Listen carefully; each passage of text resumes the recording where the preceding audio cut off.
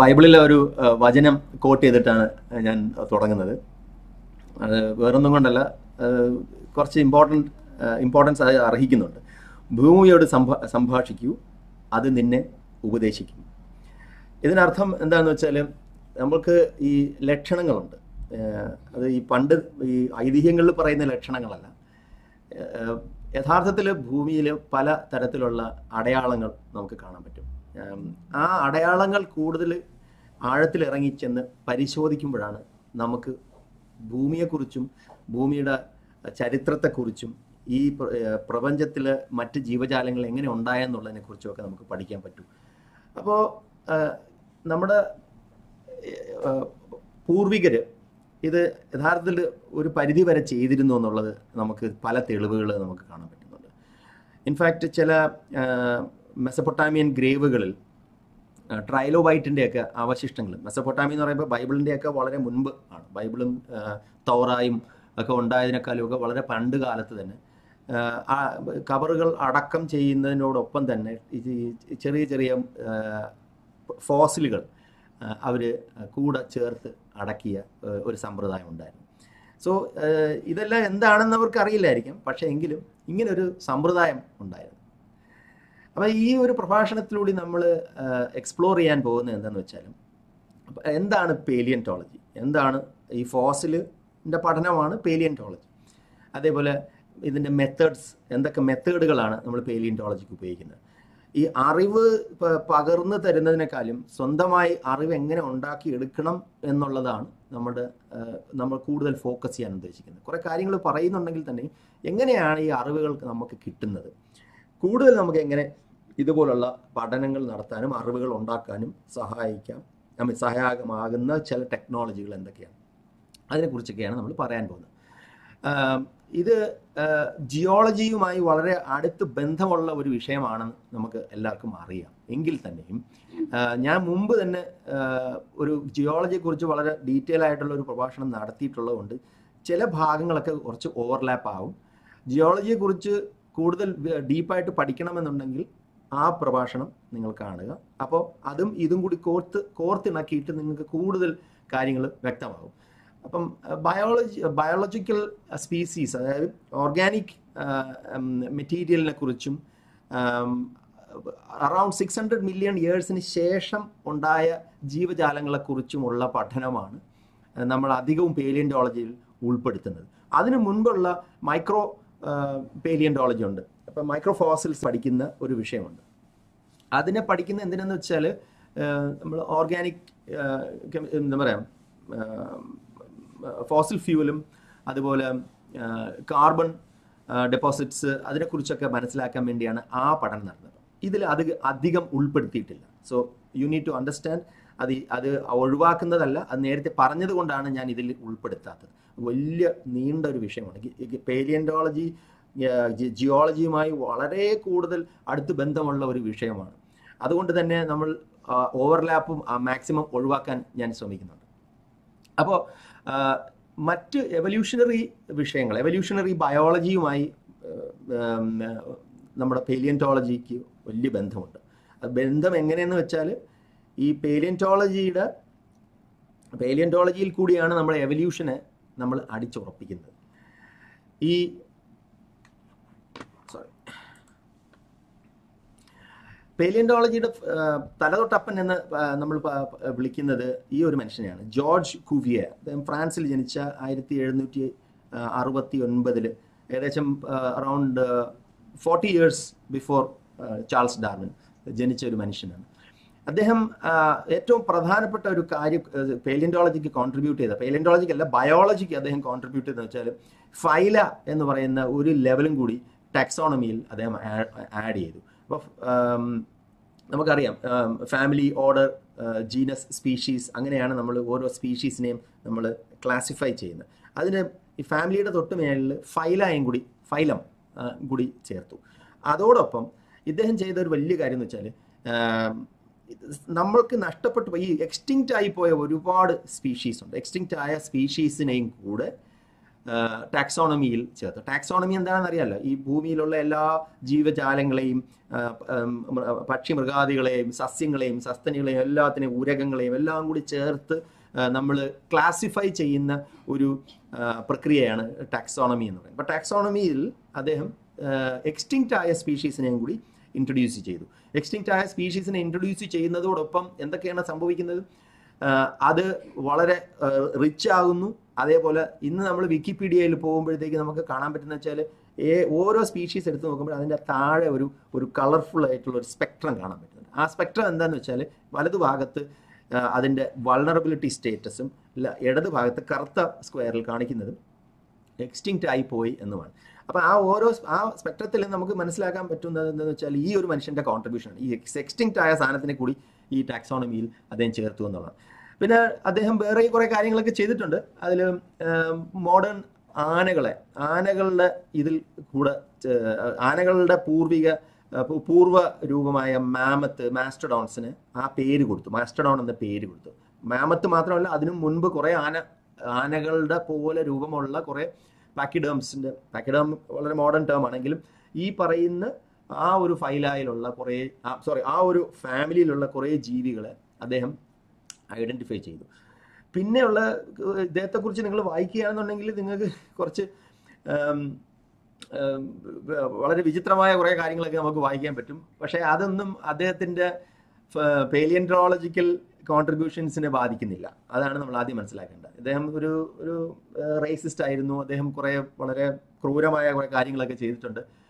അത് പറഞ്ഞതുകൊണ്ട് കൈപ്പള്ളി ഇത് പറഞ്ഞതുകൊണ്ട് ഈ ഒരു രീതിയിൽ ഇങ്ങനെ ഒരു മനുഷ്യനെ പറ്റിയാണോ പറയുന്നതെന്ന് ചോദിച്ചിട്ട് ആരും യുദ്ധത്തിന് വരരുത്. ആഹ്, ദയവേത് വരരുത്. കാര്യം ജോർജ് കുവിയറിനെ നമുക്ക് ഒഴിവാക്കാൻ പറ്റാത്തൊരു ഒരു മനുഷ്യനാണ്. അതേപോലെ നമുക്ക് പരീട്ടോ കഥ ഓർമ്മ വേണം അതുകൊണ്ട് പറഞ്ഞു പോയാൽ സോറി ഇദ്ദേഹം ചെയ്ത ഒരു വലിയൊരു കോൺട്രിബ്യൂഷൻ എന്ന് വെച്ചാൽ ഈ ഫോസിലുകൾ ഇദ്ദേഹം കണ്ടെടുക്കുമ്പോൾ ഇദ്ദേഹത്തിന് ഒരു കാര്യം മനസ്സിലായി. ഈ അന്ന് വളരെ പ്രബല പോപ്പുലർ ആയിട്ടുള്ള ഒരു ഐഡിയയാണ് ഈ ഫ്ലഡ് തിയറി ക്രിയേഷനിസം ഒക്കെ അതിന് മുമ്പ് ഉണ്ടായിരുന്നതാണ് എങ്ങനെയാണ്? ഈ ഫ്ലഡിൽ നിന്ന് അതിന് ശേഷമാണ് ജീവികളായി ഉണ്ടായിരുന്നത്. ഇദ്ദേഹം ഇതിങ്ങനെ ഈ ഫോസലുകൾ ഇങ്ങനെ തപ്പിയെടുത്തുകൊണ്ടിരിക്കുമ്പോഴത്തേക്ക് ഇദ്ദേഹത്തിന് മനസ്സിലായത് ഒരുപാട് ഫ്ലഡുകൾ ഉണ്ടായിരുന്നുള്ളതാണ്. എത്ര ഫ്ലഡുകൾ? ഇരുപത്തിയേഴ് ഫ്ലഡുകൾ. ബേസിക്കലി ഒരുപാട് ഈ നമ്മുടെ പേലിയന്റോളജിക്കൽ കാലണ്ടർ നോക്കുമ്പോഴത്തേക്കും പലതര സമയങ്ങളിലായിട്ടുള്ള ഫ്ലഡിങ് നടന്നിട്ടുണ്ട്. പല തര സമയത്തിൽ ഗ്ലേഷ്യൽ മെൽറ്റിങ്ങുകൾ നടന്നിട്ടുണ്ട്. പല സമയങ്ങളിൽ മാസ് എക്സ്റ്റിങ്ഷൻസ് നടന്നിട്ടുണ്ട്. ഈ പീരിയഡുകൾ നമ്മൾ ഡിമാർക്കേറ്റ് ചെയ്യുന്നത് തന്നെ എക്സ്റ്റിങ്ഷൻസ് വെച്ചിട്ടാണ്. അങ്ങനെ നോക്കുമ്പോൾ ഇരുപത്തേഴ് പോയിന്റുകളിൽ ഈ ജീവികൾ നശിക്കുകയും എന്താ റീ എസ്റ്റാബ്ലിഷ് ചെയ്യുകയും ചെയ്തു. സോ ദിസ് മീൻസ് ദറ്റ് നമുക്ക് ഈ ഫ്ലഡ് തിയറി റീറൈറ്റ് ചെയ്യാൻ പറ്റും. അവരത് ടച്ച് ചെയ്യാതെ ഇങ്ങനെ അതിനെ നാവിഗേറ്റ് ചെയ്ത് ഇങ്ങനെ കറങ്ങി തിരിഞ്ഞൊക്കെ പുള്ളി അഡ്ജസ്റ്റ് ചെയ്ത് പോയി. എന്നായിരുന്നാലും അന്ന് ലമാർക്കൊക്കെ ലമാർക്കിയൻ ഐഡിയാസ് ഒക്കെ വളരെ പോപ്പുലർ ആയിരുന്ന സമയത്ത് he was not willing to accept that species evolve Lamarckian theory എന്ന് വെച്ചാൽ ഡു യൂസ് ഡിസ്യൂസ് തിയറിയാണ് അത് എവല്യൂഷനുമായിട്ട് വളരെ വലിയ ബന്ധമില്ലെങ്കിൽ തന്നെയും ഒരു രീ ഒരു ജീവി മറ്റൊരു ജീവിയായിട്ട് പരിണമിച്ചു എന്നുള്ളതിന് വേണ്ടിയുള്ള ഒരു ഐഡിയ ആയിട്ട് ഞാൻ ഇവിടെ പറഞ്ഞതേ ഉള്ളൂ. ഒരിക്കലും ലമാർക്കിയ ലമാർക്കിയനിസം എവലി ഡാർവിനിസത്തിന്റെ അടുത്ത് പോലും വരാത്ത ഒരു തിയറിയാണ് ഇറ്റ്സ് കംപ്ലീറ്റ്ലി ഡിഫറെന്റ് ഐഡിയോളജി ഒരു ഒരു ഒരു എന്താ പറയുക ഒരു ഡിഡ ഡിഡ്യൂസ്ഡ് സയൻസ് എന്ന് പറയാം. പ്രോട്ടോ സയൻസ് ആണെന്ന് പറയാം. അതിനൊക്കെ അതിന്റെ അടുത്ത് പോലും അദ്ദേഹം ചെന്നിരുന്നില്ല. അതായത് സ്പീഷീസ് പരിണമിക്കുന്നു എന്നുള്ള കാര്യം പോലും പുള്ളി അക്സെപ്റ്റ് ചെയ്തിരുന്നില്ല. ആ ഒരു കാര്യത്തിൽ അന്നത്തെ അറിവ് വെച്ചിട്ട് അദ്ദേഹം ചെയ്തതെന്ന് വെച്ചാൽ ഇതെല്ലാം വെവ്വേറെ സ്പീഷീസ് ആണ് എന്ന് പുള്ളി പറഞ്ഞിരുന്നു. ഒരു കാര്യം കൂടി നമ്മൾ മനസ്സിലാക്കേണ്ടത് ഈ സ്പീഷീസ് എന്ന് പറയുന്ന സ്പീഷിയേഷൻ സ്പീഷിയേഷൻ ഒരു ബ്രാഞ്ചിങ് ഔട്ടാണ് ആ ബ്രാഞ്ചിങ് ഔട്ട് എന്ന് വെച്ചാൽ കണ്ടംപററി അതായത് ഒരേ സമയം ഒന്നിലധികം സ്പീഷീസ് സാമ്യമുള്ള സ്പീഷീസ് ഉണ്ടായിരിക്കാം. അതിൽ ചിലത് നശിച്ചു പോകും. പക്ഷെ ചിലതിന് സർവൈവ് ചെയ്യാനുള്ള പോസിബിലിറ്റീസ് ഉണ്ടാവും. അങ്ങനെ സർവൈവ് ചെയ്യുന്ന അങ്ങനെ മുന്നോട്ട് പോകുന്ന കുറേ സ്പീഷീസ് ഉണ്ടാവും അപ്പം ഈ ടാക്സോണമി നമ്മൾ എപ്പോഴും നോക്കുമ്പോഴത്തേക്കും ഹൊറിസോണ്ടൽ ലെവലിൽ മാത്രമുള്ള ഒരു സ്റ്റഡിയാണ് ഈ ടാക്സോണമിക്ക് ഈ ബ്രാഞ്ചിങ് ഔട്ടിനെ കുറിച്ചുള്ള ഒരു ധാരണ പിന്നെയൊക്കെയാണ് നമ്മൾ കൊണ്ടുവന്നത്. ആദ്യ കാലങ്ങളിൽ ഈ ബ്രാഞ്ചിങ് ഔട്ട് എന്ന് പറയുന്നത് ടു ഡയമെൻഷണൽ ബ്രാഞ്ചിങ് ഔട്ട് ആയിരുന്നു. പിന്നെയാണ് അതിനൊരു ത്രീ ഡയമെൻഷണൽ ഷേപ്പ് ഉണ്ട് എന്ന് നമുക്ക് മനസ്സിലാകുന്നത് ഞാൻ ഈ പറയുന്നത് വ്യക്തമായിട്ടില്ലെന്നുണ്ടെങ്കിൽ നിങ്ങൾക്ക് ക്യു എൻ സെഷനിൽ ചോദിക്കാം. So George Cuvier was very important in laying out the foundation of many of our new understanding of the taxonomical classification അന്ധകാലം അതിനുശേഷം പത്ത് നാൽപ്പത് വർഷത്തിന് ശേഷമാണ് നമ്മുടെ ചാൾസ് ഡാർവിൻ വരുന്നത്. ഇപ്പോൾ ഫോസലിനെ കുറിച്ച് പറയുമ്പോഴത്തേക്കും ഡാർവിനെ കുറിച്ച് പറയാതെ പോകുന്നത് ശരിയല്ല. പക്ഷേ അദ്ദേഹം ഫോസിലുകൾ വളരെ കുറച്ച് മാത്രമേ എക്സാമിൻ ചെയ്യാൻ അദ്ദേഹത്തിന് അവസരങ്ങൾ ഉണ്ടായിരുന്നുള്ളൂ. അതിന്റെ പ്രധാന കാരണം വെച്ചാൽ ആ കാലത്ത് ഏകദേശം ആറായിരത്തിൽ അധികം ഉള്ള അതിന് അതിന് കൂടുതലൊന്നും ഫോസിലുകളൊന്നും അന്ന് ഇല്ലായിരുന്നു. വളരെ ലിമിറ്റഡ് നമ്പർ ഓഫ് ഫോസിൽസ് മാത്രമേ ഉണ്ടായിരുന്നുള്ളൂ. ഒരുപാട് ഗ്യാപ്പുകൾ ഉണ്ടായിരുന്നു. അത് പലരും ഈ ഗ്യാപ്പുകൾ ഉണ്ടായതുകൊണ്ട് മിസ്സിംഗ് ലിങ്കുകൾ ചൂണ്ടിക്കാണിച്ചിട്ട് ഈ ഒരു തിയറി തെറ്റാണെന്നൊക്കെ എസ്റ്റാബ്ലിഷ് ചെയ്യാനായിട്ടുള്ള ശ്രമങ്ങൾ അന്നേ ഉണ്ടായിരുന്നുള്ളൂ. അപ്പോൾ അദ്ദേഹം ഇന്ന് അന്ന് പറഞ്ഞ കാര്യം എന്ന് വെച്ചാൽ നമ്മളുടെ ഈ ഒരു ഫോസിലുകളുടെ അഭാവം ആവശ്യത്തിനുള്ള ഫോസിലുകൾ ഇല്ലാത്തത് വലിയൊരു വലിയ- ഒരു ഒരു ഒരു ദുരവസ്ഥയാണ്. അതിൽ ലാസ്റ്റ് ലൈൻ മാത്രം ഞാൻ ഞാൻ വായിക്കാം. അതിൽ ഇത് വെച്ച് ഇതിങ്ങനെ നശിച്ചു പോകുന്നു. ഇതിനെപ്പറ്റി നമ്മൾ കൂടുതൽ പ്രൊട്ടക്റ്റ് ചെയ്യണം എന്നുള്ള ഒരു ധ്വനി ഈ ഒരു സ്റ്റേറ്റ്മെന്റിലുണ്ട് we err when we assume that the sediment is being deposited over the whole bed of the sea sufficiently quickly to embed fossil remains അതായത് നമ്മൾ കരുതുന്നത് എന്താണെന്ന് വെച്ചാൽ ഈ ഡെപ്പോസിഷൻ ഈ കടൽത്തട്ടിൽ ഉണ്ടാകുന്ന മണ്ണ് മണ്ണും സെഡിമെന്റ്സും ഒക്കെ ഡെപ്പോസിഷൻ നടക്കുന്നത് വളരെ യൂണിഫോം ആയിട്ടാണെന്നുള്ളൊരു ധാരണ നമുക്കുണ്ട്. അത് തെറ്റായ ഒരു ധാരണയാണെന്നും അത് എപ്പോഴും ചില ചില ഇടങ്ങളിൽ ഈ ഡെപ്പോസിഷൻ നടക്കുന്നില്ല. അതുകൊണ്ട് എക്സ്പോഷറിൽ കൂടി പല ഫോസലുകളും നഷ്ടമാകുന്നു എന്നുള്ളതാണ്. ഇപ്പം നമുക്ക് ഇന്ന് അറിയാവുന്നതെന്ന് വെച്ചാൽ ഈ കാണുന്ന ഫോസലുകളിൽ ഒരു ഫോർട്ടി പെർസെന്റ് മാത്രമേ നമുക്ക് അല്ല സോറി ഒരു ഫൈവ് പെർസെന്റ് മാത്രമേ നമുക്ക് ആക്ച്വലി എക്സാമിൻ ചെയ്യാനുള്ള ഒരു അവസരം പോലും ഉള്ളൂ. ബാക്കി കംപ്ലീറ്റ് നശിച്ചു പോവുകയാണ്. എത്രയോ millions of fossils have just disappear millions of species have disappear അപ്പോൾ ആ ഒരു ഒരു നഷ്ടം ഇദ്ദേഹം അന്ന് മനസ്സിലാക്കിയിരുന്നു.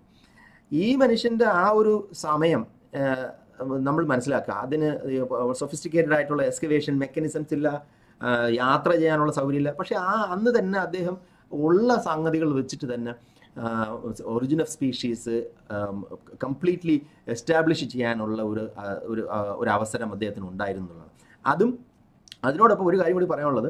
ഈ പറയുന്ന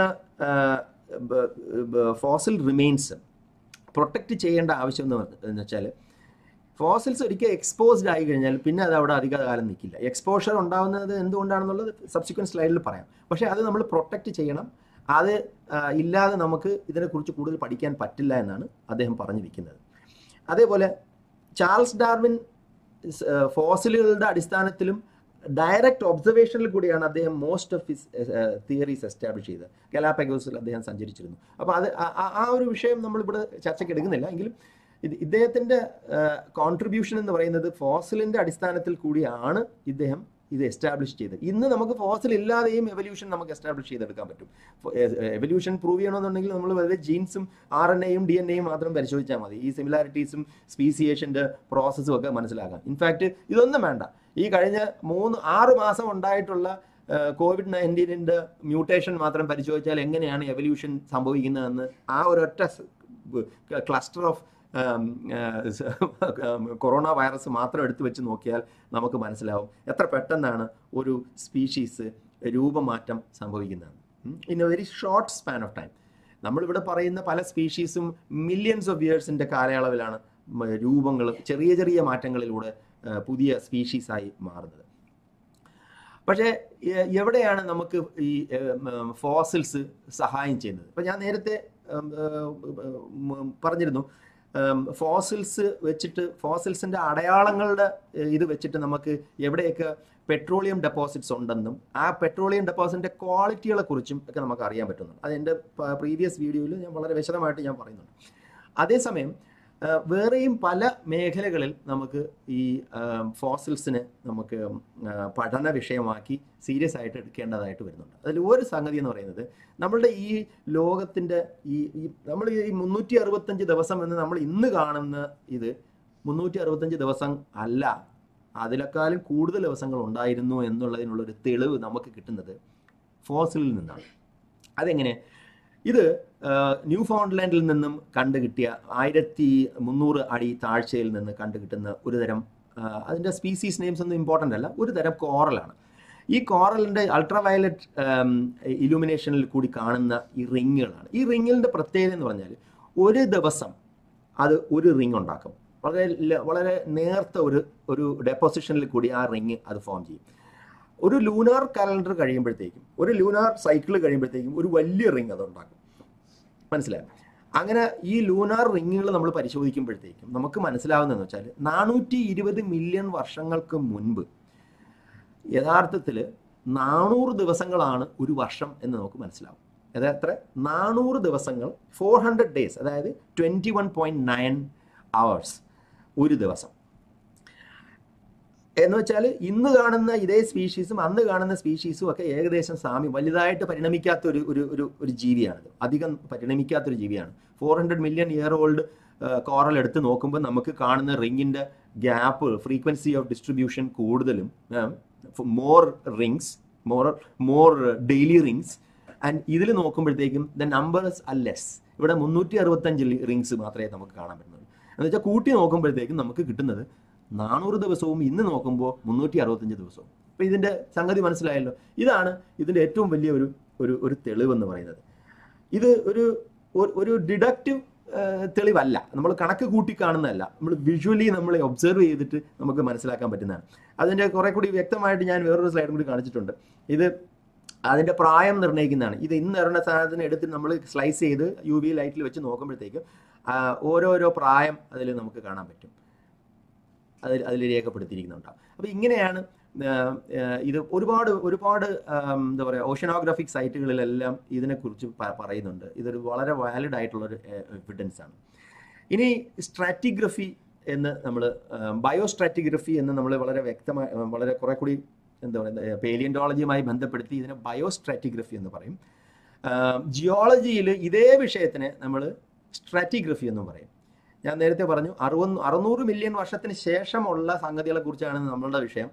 അതിന് മുമ്പുള്ളതിനെ നമ്മൾ വെറുതെ പ്ലെയിൻ സ്ട്രാറ്റിഗ്രഫി എന്ന് പറയും. അതിൽ മറ്റു ഈ മുമ്പുണ്ടായിരുന്ന ജീവികൾ പ്രീകേംബ്രിയൻ പീരീഡിൽ ഉണ്ടായിരുന്ന two point five million to around six hundred million ഇയേഴ്സിൽ ഉണ്ടായിരുന്ന ജീവികളുടെ പഠനം ആണ് ആ അവിടെ വരുന്നത്. ഈ പെട്രോളിയം എക്സ്ട്രാക്ഷനും ഗ്യാസ് ഫോർമേഷനും പെട്രോളിയം കെറോജിൻ അതിന്റെ മിക്സ്ചറിന്റെ ഫോർമേഷനെ കുറിച്ചൊക്കെ പഠിക്കുന്നതിന് വേണ്ടിയുള്ളതാണ്. അപ്പോൾ അത് വളരെ ഈ കാണുന്ന ചിത്രത്തിൽ ആ ഓറഞ്ചിൽ കാണുന്നതിനേക്കാളും താഴെയാണ് അത് വരുന്നത്.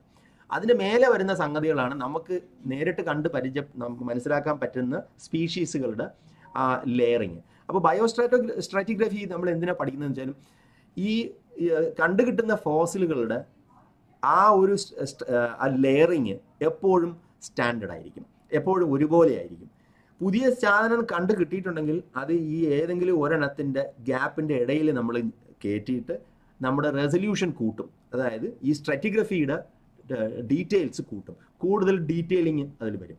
അങ്ങനെ ഡീറ്റെയിലിങ് കൂട്ടി കൂട്ടിയിട്ടാണ് ബയോസ്ട്രാറ്റിഗ്രഫിയിൽ കൂടി നമുക്ക് ഈ ഓരോ സ്പീഷീസിന്റെയും എവല്യൂഷണറി പോയിന്റ് ഇൻ ടൈം നമുക്ക് മനസ്സിലാക്കാൻ പറ്റുന്നത്.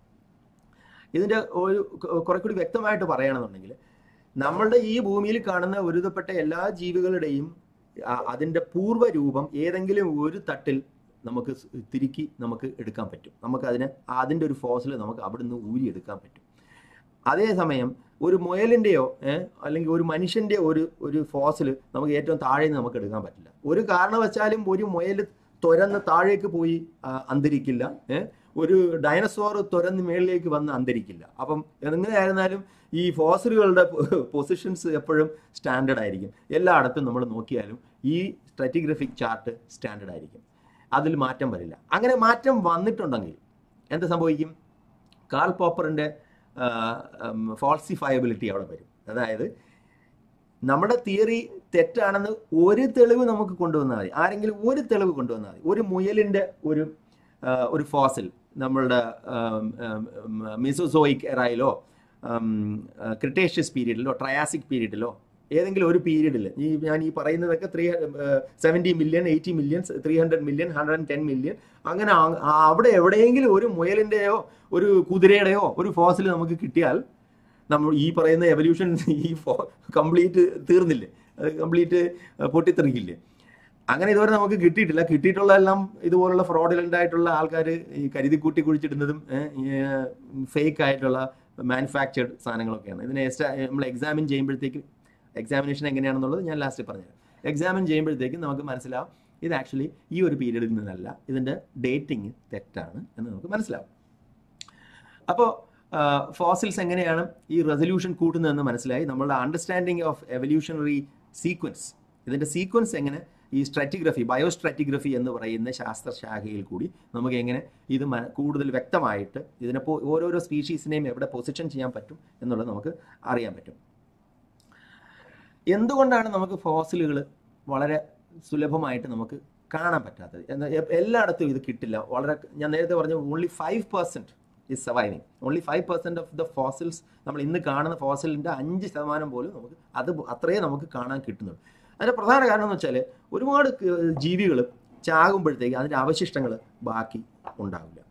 അപ്പം ഈ ചത്തുപോകുന്ന ജീവികളുടെ അവശിഷ്ടങ്ങളുടെ ജീർണന രീതി ജീർണന പ്രക്രിയ അത് പഠിക്കുന്ന ഒരു മേഖലയാണ് ടെഫോണമി. ടെഫോണമി എന്ന് പറഞ്ഞാൽ ഒരു ജീവി മരിച്ചു കഴിഞ്ഞാൽ ചത്തു കഴിഞ്ഞാൽ അത് എത്ര പെട്ടെന്നാണ് അത് നശിക്കുന്നത്? നശിച്ചു കഴിഞ്ഞാൽ അത് എത്ര കാലം കഴിഞ്ഞാണ് അതിന്റെ അവശിഷ്ടങ്ങളെല്ലാം ഡിസപ്പിയർ ആകുന്നത്? അത് അപ്രത്യക്ഷമാകുന്നത് എന്നുള്ള പഠന രീതിയാണ്. ഇത് പഠിക്കേണ്ട കാര്യം എന്ന് വെച്ചാൽ ഈ പലതരത്തിലുള്ള സോഫ്റ്റ് ബോഡീഡ് ഓർഗൻസ് അതായത് jelly fish shell fish sea worms sea cucumbers അതുപോലുള്ള ഒരുപാട് സോഫ്റ്റ് ബോഡീഡ് ജീവികൾ ചത്തു കഴിഞ്ഞാൽ അതിന്റെ അവശിഷ്ടങ്ങൾ ഒരിക്കലും ഒന്നും കാണാൻ പറ്റില്ല. പ്രത്യേകിച്ച് മത്സ്യങ്ങൾക്കുള്ള ഏറ്റവും വലിയ പ്രോബ്ലം ഉള്ളത്. മത്സ്യങ്ങൾ അൺലെസ് അൺടിൽ അത് ഏതെങ്കിലും പാറയുടെയോ കല്ലിന്റെ ഇടയിൽ ജാം പാക്ഡ് ആയിട്ട് ഇരുന്ന് അനോറോബിക് പ്രോസസ്സിലൂടെ അതായത് ഓക്സിജൻ കടക്കാത്ത രീതിയിൽ കൂടി അത് ചത്താൽ മാത്രമേ അതിന് അങ്ങനെ പ്രിസേർവ് പ്രിസേർവ് ചെയ്യാൻ പറ്റൂ. അപ്പോൾ ഇത് നമ്മൾ മനസ്സിലാക്കേണ്ട ഒരു കാര്യമാണ്. ഇപ്പം ഇവിടെ നിങ്ങൾ കാണുന്നത് എന്താണെന്ന് വെച്ചാൽ ഇതൊരു മത്സ്യത്തിന്റെ ഫോസിലാണ് കാണുന്നുണ്ടല്ലോ എല്ലാവരും? Okay I think you can see it അപ്പോൾ ഇതിൽ കാണുന്നത് ഏകദേശം സിക്സ്റ്റി മില്യൺ ഇയർ ഓൾഡ് ഒരു സ്പീഷീസാണ് ഈ അറുപത് മില്യൺ വർഷം പഴക്കമുള്ള സ്പീഷീസ് ക്ലേയിൽ എംബെഡഡ് ആയി. ക്ലേയിൽ എംബെഡഡ് ആയിട്ട് ഇത് ഒരു ഇത് വളരെ കോമൺ ആയിട്ടുള്ള ഒരു ഒരു ഒരു ഒരു ഒരു ഒരു ഒരു സംഭവമാണ്. ഇങ്ങനെ ക്ലേയിൽ ഇത് എംബഡ് ആകുക and then you can extract them അപ്പോൾ ഇങ്ങനെയൊക്കെ വന്നാൽ മാത്രമേ നമുക്ക് ഇതിനെ കിട്ടൂ. അല്ലാതെ ഇത് ഇപ്പോൾ വെറുതെ സോഫ്റ്റ് മെറ്റീരിയലിൽ അങ്ങനെ അടങ്ങിയിട്ടുണ്ടെന്നുണ്ടെങ്കിൽ അതിന്റെ അവശിഷ്ടങ്ങൾ നമുക്ക് ബാക്കി ഉണ്ടാകും പിന്നെ ഒരുവിധപ്പെട്ട എല്ലാ ജീവികളും ചാവുമ്പോഴത്തേക്കും മറ്റ് ജീവികൾ ഇതിനെ ഭക്ഷിക്കും. അപ്പോൾ പിന്നെ ഒന്നും കാണില്ല. ഈ വളരെ വെൽ മെയിന്റൈൻഡ് ആയിട്ടുള്ള ചില ടാ അക്വേറിയംസ് ഉണ്ട്. അക്വേറിയത്തിന്റെ അകത്തുള്ള ചില ജീവികൾ ചാകുമ്പോഴത്തേക്കും ഒന്നും ബാക്കി കാണില്ല. വിത്തിൻ എ ഫ്യൂ അവേഴ്സ് അതെല്ലാം ഡിസപ്പിയർ ആവും. കാര്യം എന്താണെന്ന് വെച്ചാൽ മറ്റ് ജീവികൾ ഇതിനെ ഭക്ഷിച്ചിട്ട് അവശിഷ്ടങ്ങളൊന്നും ബാക്കി ഉണ്ടാവില്ല. അപ്പോൾ എന്താണ് ഇതിന്റെ മെയിൻ കാരണം? ഇത് ഉണ്ടാകുന്നതിന്റെ കാര്യം ഡെസല്യൂഷൻ ഇത് കംപ്ലീറ്റ് ഡിസോൾവ് ആയി പോകും റീപ്ലേസ്മെന്റ് ഈ മിനറൽസ് കൊണ്ട് റീപ്ലേസ്ഡ് ആവും. ഡിസ്റ്റോഷൻ ഡിസ്റ്റോഷൻ എന്ന് പറഞ്ഞിട്ടുണ്ടെങ്കിൽ ഈ പല എൻവയറമെന്റൽ കണ്ടീഷൻസ് കൊണ്ട് ഇത് ഡിസ്റ്റോർട്ടഡ് ആവും. ആ എൻവയറമെന്റൽ കണ്ടീഷൻസ് കുറച്ചും കൂടി ഡീറ്റെയിൽ ആയിട്ട് ഞാൻ സബ്സിക്വൻസ് സ്ലൈഡുകളിൽ പറയും. പിന്നെ pressure heat erosion and upliftment upliftment എന്താണെന്ന് വെച്ചാൽ പല പ്രദേശങ്ങളും വളരെ യങ് ആയിട്ടുള്ള പ്രദേശങ്ങളാണ്. അപ്പം ജിയോളജിക്കൽ പ്രോസസ്സുകളിൽ കൂടി ഈ ആ പ്രദേശം പൊങ്ങി വരും. അങ്ങനെ അതിനെയാണ് യങ് ഏരിയാസ് എന്ന് പറയുന്നത്. ഇപ്പം യു എ ഒക്കെ എന്ന് പറഞ്ഞാൽ വളരെ യങ് ഏരിയ യു എയുടെ ഹജ്ജാർ മൗണ്ടൻസ് ഹിമാലയാസ് ഇതെല്ലാം വളരെ യങ് ഏരിയാസ് ആണ്. അതിങ്ങനെ അപ്ലിഫ്മെന്റ് നടന്നുകൊണ്ടിരിക്കുകയാണ്. ഈ സബ്ഡക്ഷൻ ആൻഡ് സബ്വേർഷൻ ഒക്കെ നടക്കുമ്പോഴത്തേക്കും ഒരു പ്ലേറ്റ് വേറൊരു പ്ലേറ്റിന്റെ മേലെ കൂടി കയറി ഇങ്ങനെ വരും. അങ്ങനെ മുകളിലോട്ട് കയറി വരുന്ന ഏരിയാസ് ആണ് ഈ Hajar mountain range Hajar mountain ranges ഏകദേശം പത്ത് മില്യൺ വർഷം കൊണ്ടാണ് ഇങ്ങനെ പൊങ്ങി വന്നത്. അങ്ങനെ പൊങ്ങി വന്നപ്പോഴത്തേക്ക് ഉണ്ടായതെന്ന് വെച്ചാൽ ഇതേപോലത്തെ ഫോസിലുകൾ ഫോം ചെയ്തു തുടങ്ങി. ഇതേപോലത്തെ ഫോസിലുകൾ പുറത്ത് എക്സ്പോസ് ആയി തുടങ്ങി. ഇപ്പം ഞാനിപ്പോൾ കാണിക്കുന്ന സാധനം എന്ന് വെച്ചാൽ അങ്ങനത്തെ ഒരു ഒരു ഫോസിലാണ് ഇത് കാണുന്നുണ്ടല്ലോ? ഇത് നമ്മളുടെ കയ്യിലെടുത്ത് നോക്കുമ്പോഴത്തേക്കും ആ ഒരുപാട് സോഫ്റ്റ് ബോഡീഡ് ഓർഗൻസിന്റെ ഇത് കണ്ടാൽ വിചാരിക്കും ഏതെങ്കിലും കോൺക്രീറ്റിന്റെ കഷ്ണമാണ്? ഇത് കോൺക്രീറ്റിന്റെ കഷ്ണമല്ല. ഇത് നമ്മൾ മലയുടെ മുകളിൽ നിന്ന് കണ്ടെടുത്തതാണ്. കണ്ടോ? അതിനകത്ത് നമുക്ക് കാണാം. ഉണ്ട് വളരെ വ്യക്തമായിട്ട് ഒരു ഷെല്ലിന്റെ ഷെല്ലിന്റെ കാസ്റ്റാണ് ഷെല്ലല്ല ഷെല്ലിന്റെ കാസ്റ്റിംഗ് ആണ്. ആ എന്താ പറയുക ഇംപ്രഷൻ ആ ഷെല്ലിന്റെ ഒരു ഇംപ്രഷൻ അതിൽ ഫോം ചെയ്തിരിക്കുകയാണ്. ഇങ്ങനെയുള്ള ഇംപ്രഷൻസിൽ കൂടി നമുക്ക് പല കാര്യങ്ങളും ആ ജീവിയെക്കുറിച്ച് നമുക്ക് പല കാര്യങ്ങളും പറഞ്ഞ് പഠിക്കാൻ പറ്റും.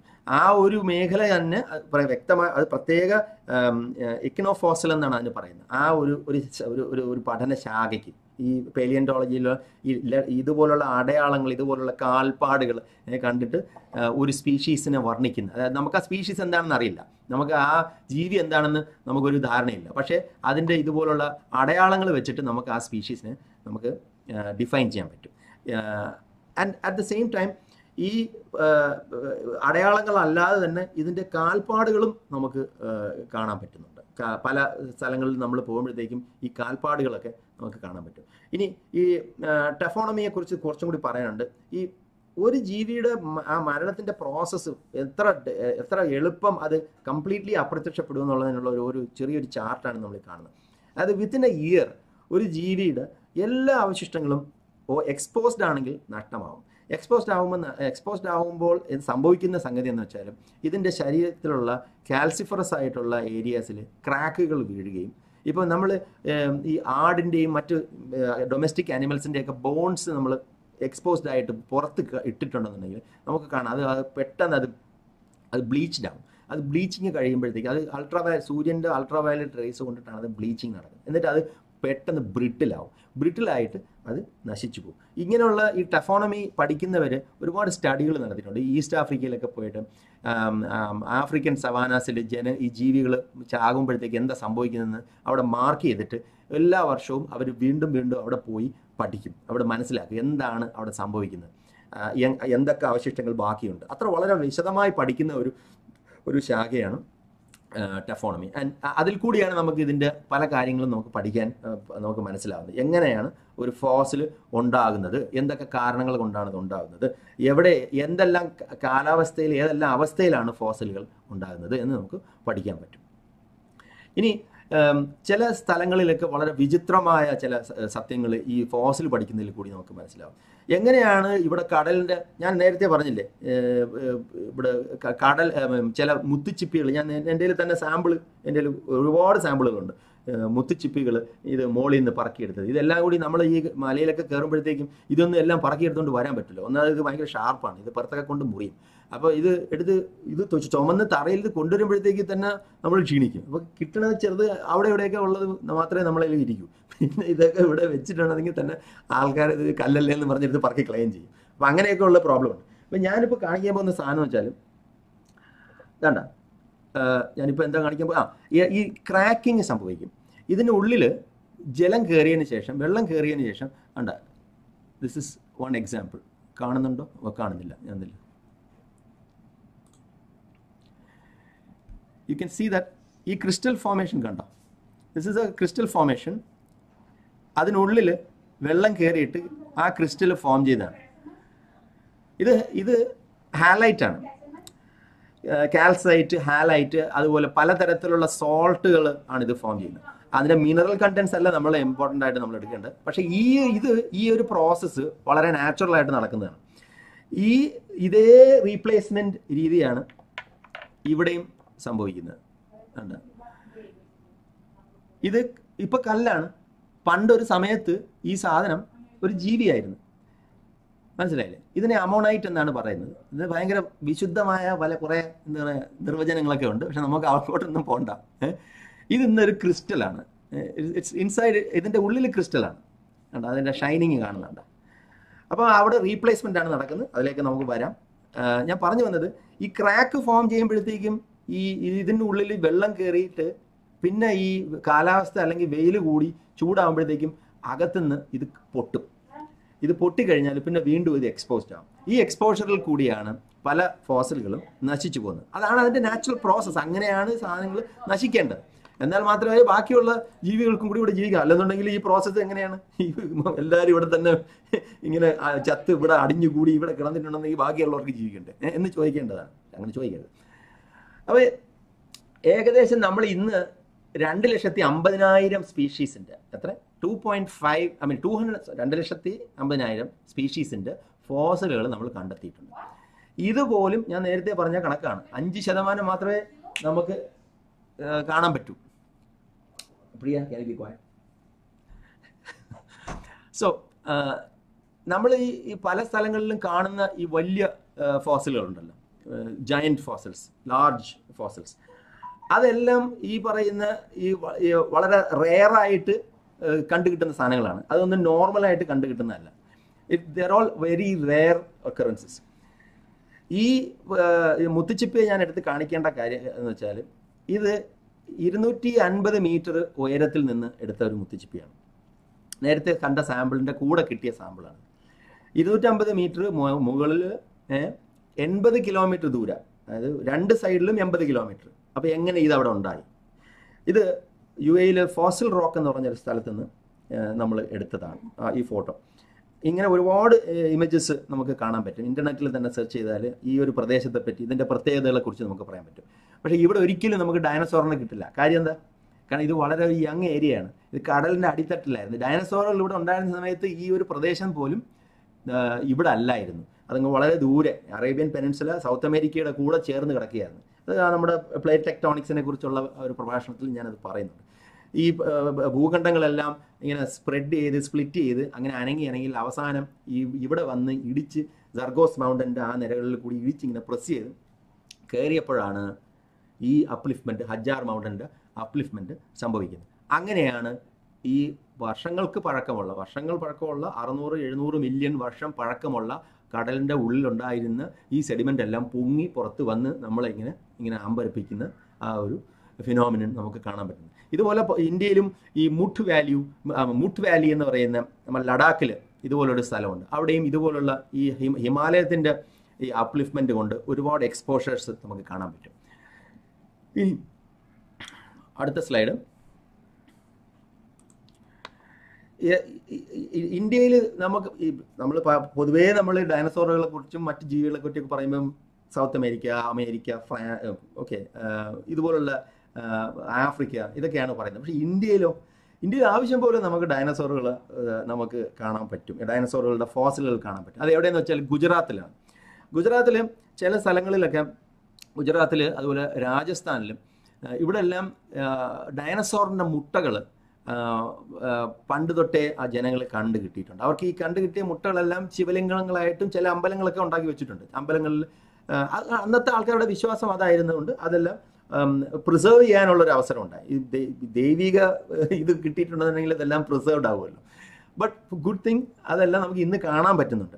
ഇപ്പം ഇത് എടുത്തിരിക്കുന്നത് ഇത് റൈഹിലി എന്ന് പറയുന്ന ഗുജറാത്തിലെ ഒരു ഒരു ഡയനസോർ പാർക്കുണ്ട്.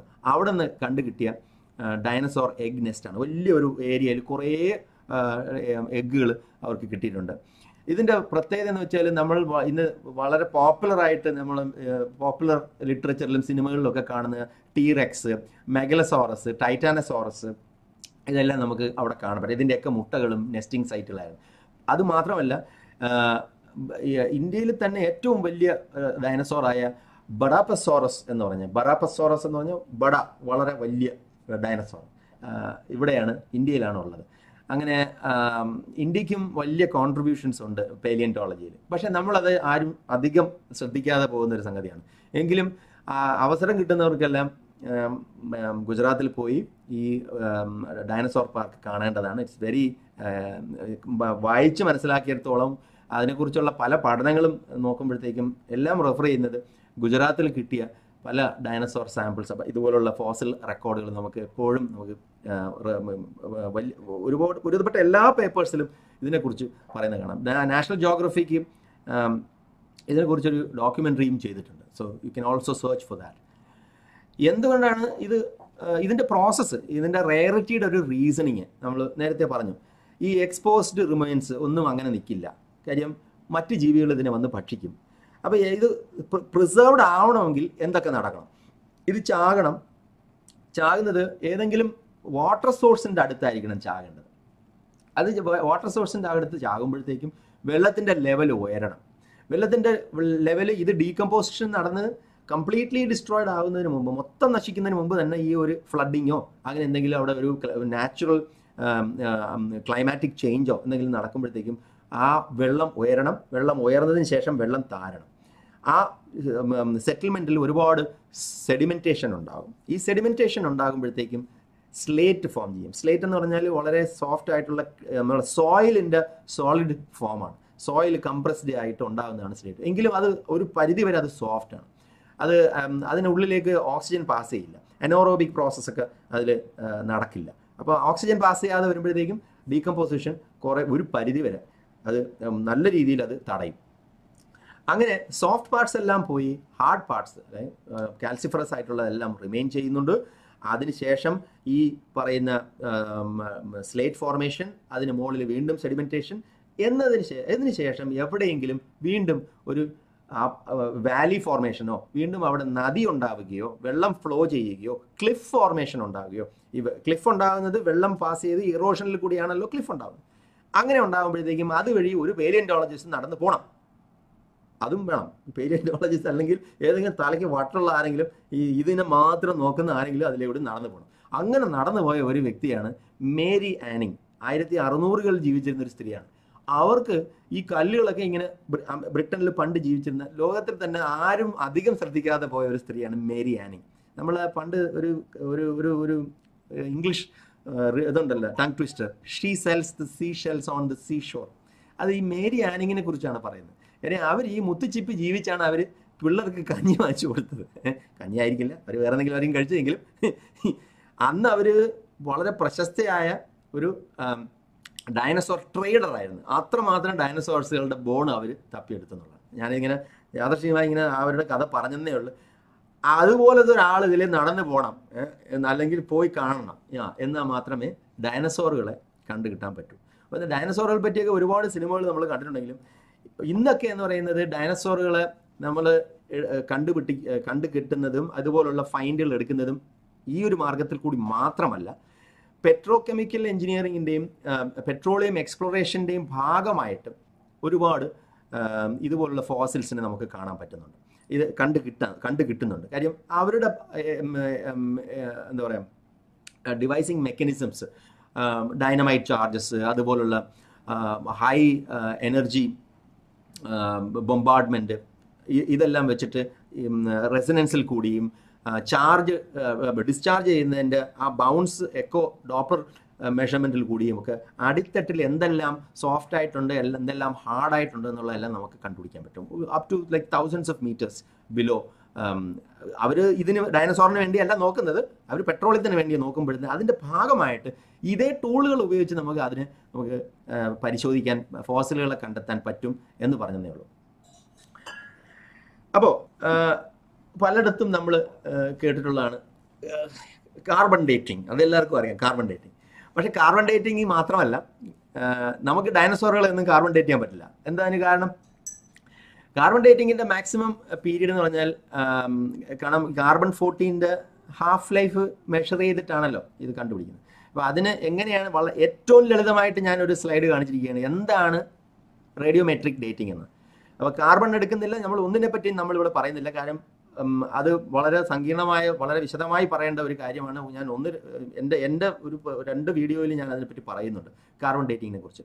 പക്ഷേ ഇവിടെ നമ്മൾ പറയുന്നത് എന്താണ് radiometric dating carbon dating is part of radiometric dating it is only one method എന്തുകൊണ്ടാണ് കാർബൺ ഡേറ്റിംഗ് ഡയനസോറിനെ ഡേറ്റ് ചെയ്യാൻ പറ്റാത്തത്? കാര്യം എഴുപത്തയ്യായിരം വർഷത്തിന് പുറകോട്ട് നമുക്ക് കാർബൺ ഡേറ്റിംഗ് വർക്ക് ചെയ്യില്ല. കാര്യം കാർബൺ ഫോർട്ടീനിന്റെ ഹാഫ് ലൈഫ് എന്ന് പറയുന്നത് അയ്യായിരത്തി എഴുന്നൂറ്റി മുപ്പത് വർഷങ്ങളാണ്.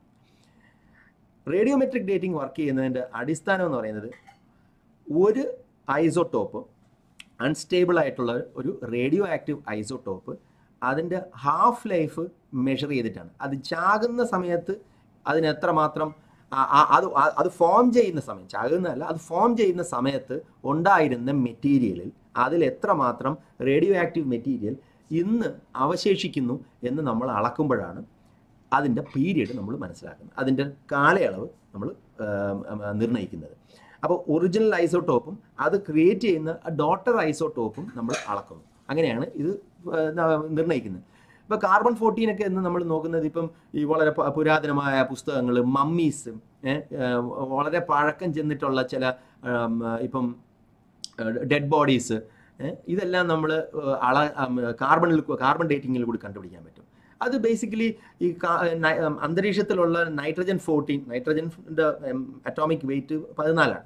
അപ്പം നൈട്രജന് കോസ്മിക് റേഡിയേഷനിൽ കൂടി സൂര്യനിൽ നിന്ന് വരുന്ന അല്ല സൂര്യനിൽ നിന്നല്ല സൂര്യ ഭൂമിക്ക് പുറത്തു നിന്ന് വരുന്ന കോസ്മിക് റേഡിയേഷനിൽ കൂടി ഈ നൈട്രജന് ഒരു പ്രോട്ടോൺ ഐ മീൻ ന്യൂട്രോണിനെ തെറിപ്പിക്കും. ഈ ന്യൂട്രോണിനെ തെറിപ്പിച്ച് ഈ ന്യൂട്രോണിനെ ഒരു കാർബൺ ക്യാപ്ചർ ചെയ്യും. കാർബൺ ക്യാപ്ചർ ചെയ്തതിന് ശേഷം ഈ കാർബണിനെ നമ്മൾ കാർബൺ ഫോർട്ടീൻ ആയിട്ട് മാറും. ഈ കാർബൺ ഫോർട്ടീൻ ആകുന്നതിന് ഏതെങ്കിലും ഒരു ജീവി ഭക്ഷിക്കും. ഇപ്പം ഫോട്ടോസിന്തസിന്റെ ഭാഗമായിട്ട് സസ്യങ്ങളെല്ലാം ഇത് ഭക്ഷിക്കും. അപ്പോൾ ഇത് ഭക്ഷിച്ചു കഴിഞ്ഞാൽ ഇത് ചാവും.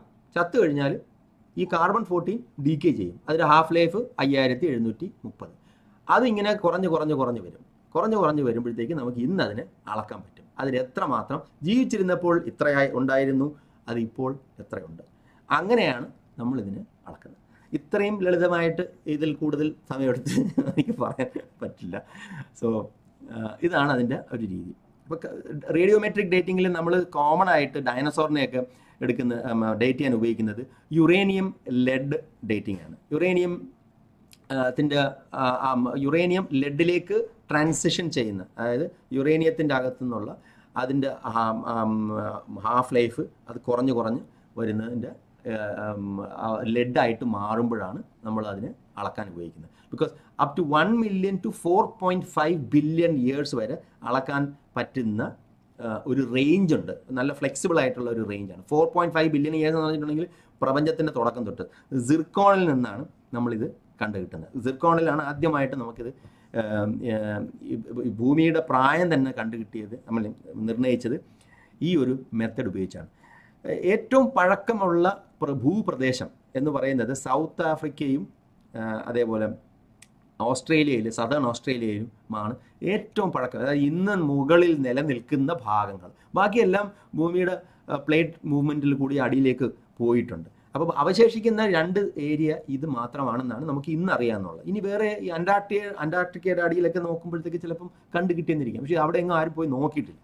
സോ ഇതാണ് നമ്മളുടെ ആ പ്രപഞ്ച ഭൂമിയുടെ പ്രായത്തിന്റെ ആ ഒരു എസ്റ്റിമേറ്റ് എന്ന് പറയുന്നത് അപ്പോൾ അത് വെച്ചിട്ടാണ് നമ്മൾ ഈ ഡയനസോറിന്റെ അതേ മെത്തേഡ് ഉപയോഗിച്ചാണ് ഇതുപോലുള്ള വളരെ ഈ സിക്സ് ഹൺഡ്രഡ് മില്യൺ ഇയേഴ്സും ഫോർ ഹൺഡ്രഡ് മില്യൺ ഇയേഴ്സൊക്കെ ഉള്ള പഴക്കമുള്ള ഫോസിലുകൾ ഡേറ്റ് ചെയ്യാനായിട്ട് ഉപയോഗിക്കുന്ന method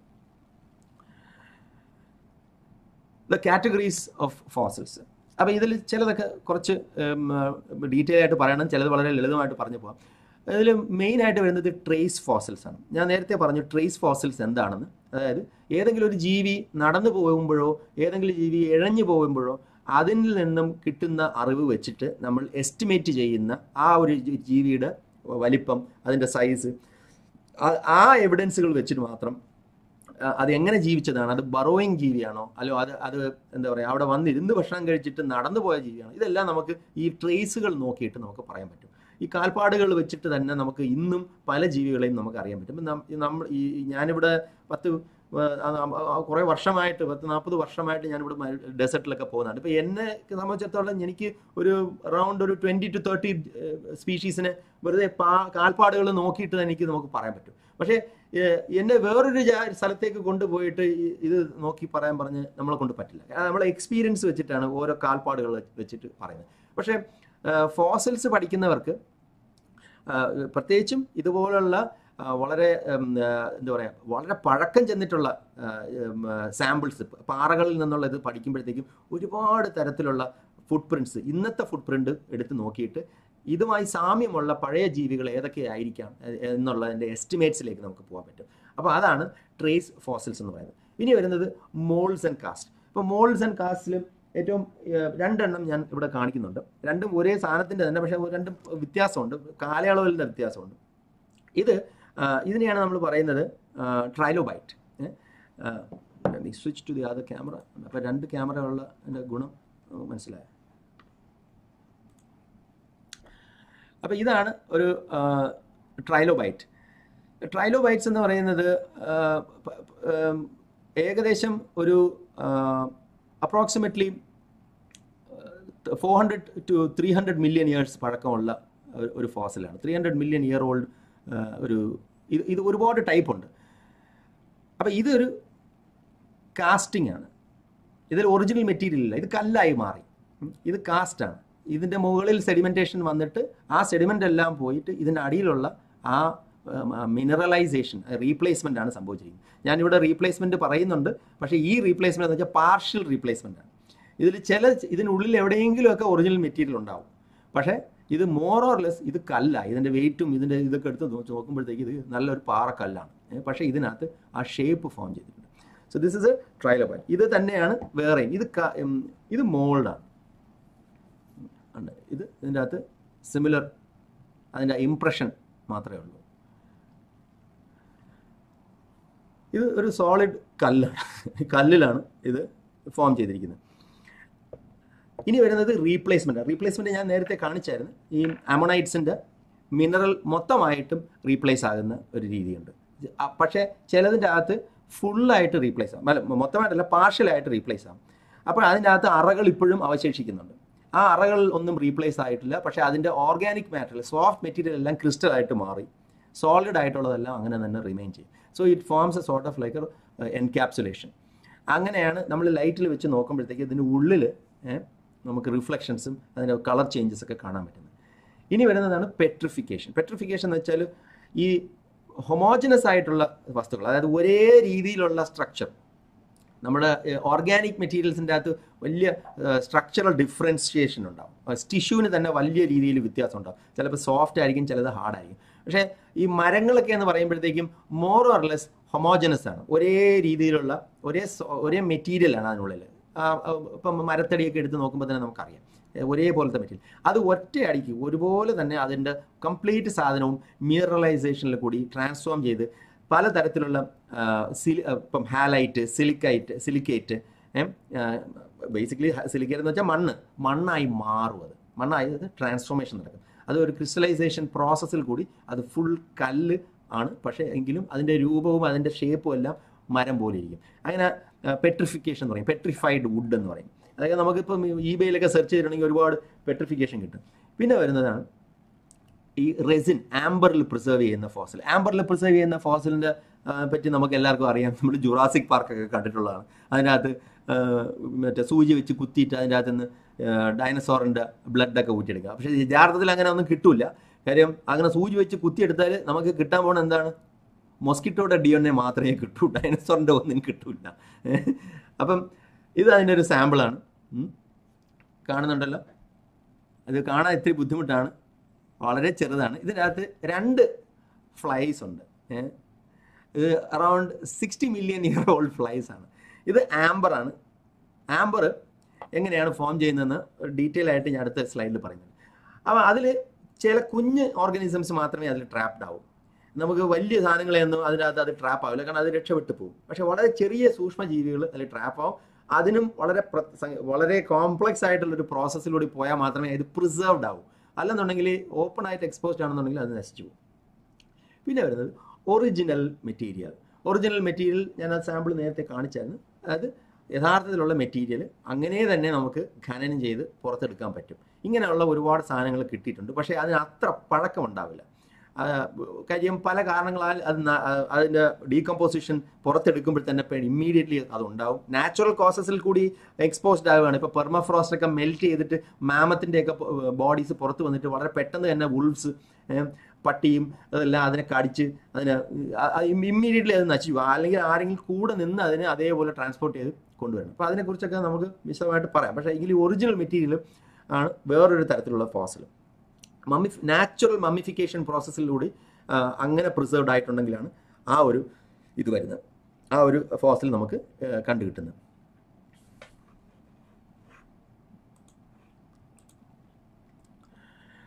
ഇനി ഈ ട്രേസ് ഫോസിൽസിൽ വളരെ പ്രധാനപ്പെട്ട ഒരു സംഗതിയാണ് ഈ ഇക്കണോ ജനറ ഇക്കണോ ജനറ എന്ന് പറഞ്ഞാൽ അതിന്റെ ഫോസിൽ നമുക്ക് അവശേഷിക്കുന്നില്ല. ഈ ജീവിയുടെ ഒറിജിനൽ ഫോസിൽ നമുക്ക് കിട്ടുന്നില്ല. പക്ഷേ ഈ ജീവിയുടെ കാൽപ്പാടുകൾ നമുക്കുണ്ട്. അതിന്റെ വാൽപ്പാടും കാൽപ്പാടും. ഇതിനകത്താണ് അതിന്റെ വാലും ഉണ്ട് കാലും ഉണ്ട്. ഈ വാലും കാലും വെച്ചിട്ട് നമുക്ക് കുറേ അളവുകൾ വെച്ചിട്ട് ഈ ജീവി എത്ര വലിപ്പമുള്ളതാണ് എങ്ങനെ ഇത് നീങ്ങുന്നു എന്നൊക്കെ നമുക്ക് മനസ്സിലാക്കാൻ പറ്റും.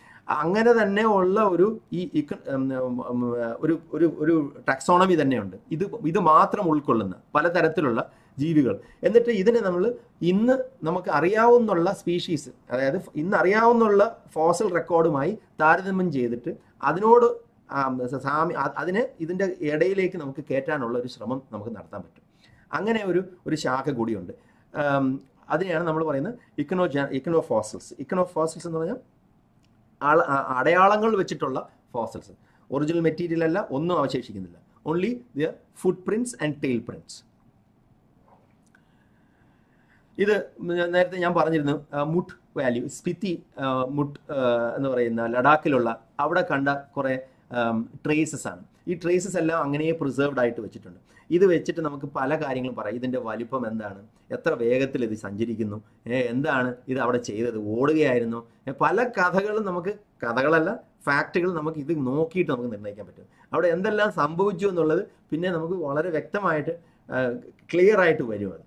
അതാണ് ആ ഒരു ഈ ഒരു ഈ ഒരു ശാഖ തന്നെ. ഒരു ഒരു ഡിറ്റക്റ്റീവ് ഒരു ക്രൈം സീൻ പഠിക്കുന്നത് പോലെയാണ് ഒരു ഫോസലിനെ നമ്മൾ പഠിക്കുന്നത്. ആ ആ അത് അതിന്റെ എങ്ങനെ ഏതിലേ കൂടി പോയി എന്ത് ഇവിടെ ചെയ്തു എന്തിനവിടെ അവിടെ ഉണ്ടായി എന്തിനവിടെ വന്നു ഇതെല്ലാം നമുക്ക് നമുക്കത് ആ ട്രാക്കുകൾ വെച്ചിട്ട് മാത്രം നമുക്ക് പഠിക്കാൻ പറ്റും. എങ്ങനെയാണ് ഈ ഇത് ഉണ്ടാകുന്നത് ഈ ട്രേസസ് ഉണ്ടാകുന്നത്? ഒരു ജീവി അതിലേ നടന്നു പോകുന്നു നടന്ന് സോഫ്റ്റ് മെറ്റീരിയൽ കൂടി സിൽറ്റിൽ കൂടി നടന്നു പോകുന്നു. നടന്നു പോയതിനു ശേഷം കുറച്ച് കഴിയുമ്പോഴത്തേക്കും വെയിലടിക്കുന്നു ഈ വെയിലടിച്ചതിന് ശേഷം അതിന്റെ കുറേ കാലം കഴിയുമ്പോഴത്തേക്കും ആ അത് അത് ഹാർഡൻഡ് ആവുന്നുണ്ട് ഈ ഇത് വെയിലടിക്കുമ്പോൾ ഹാർഡൻ ആകണമെന്നുണ്ടെങ്കിൽ ഒന്നുകിൽ അത് സബ്ക അതായത് വെള്ളം അല്പമുള്ള സ്ഥലങ്ങളായിരിക്കും. സീസണലായിട്ട് വെള്ളം വന്നു പോകുന്ന സ്ഥലങ്ങളായിരിക്കും. അപ്പോൾ ഇത് വെള്ളം വന്നതിന് ശേഷം ഇത് പെട്ടെന്ന് അത് ഡ്രൗട്ട് ഉണ്ടാവുകയും പിന്നെ കുറേ കാലത്തേക്ക് അവിടെ വെള്ളം വന്നില്ല.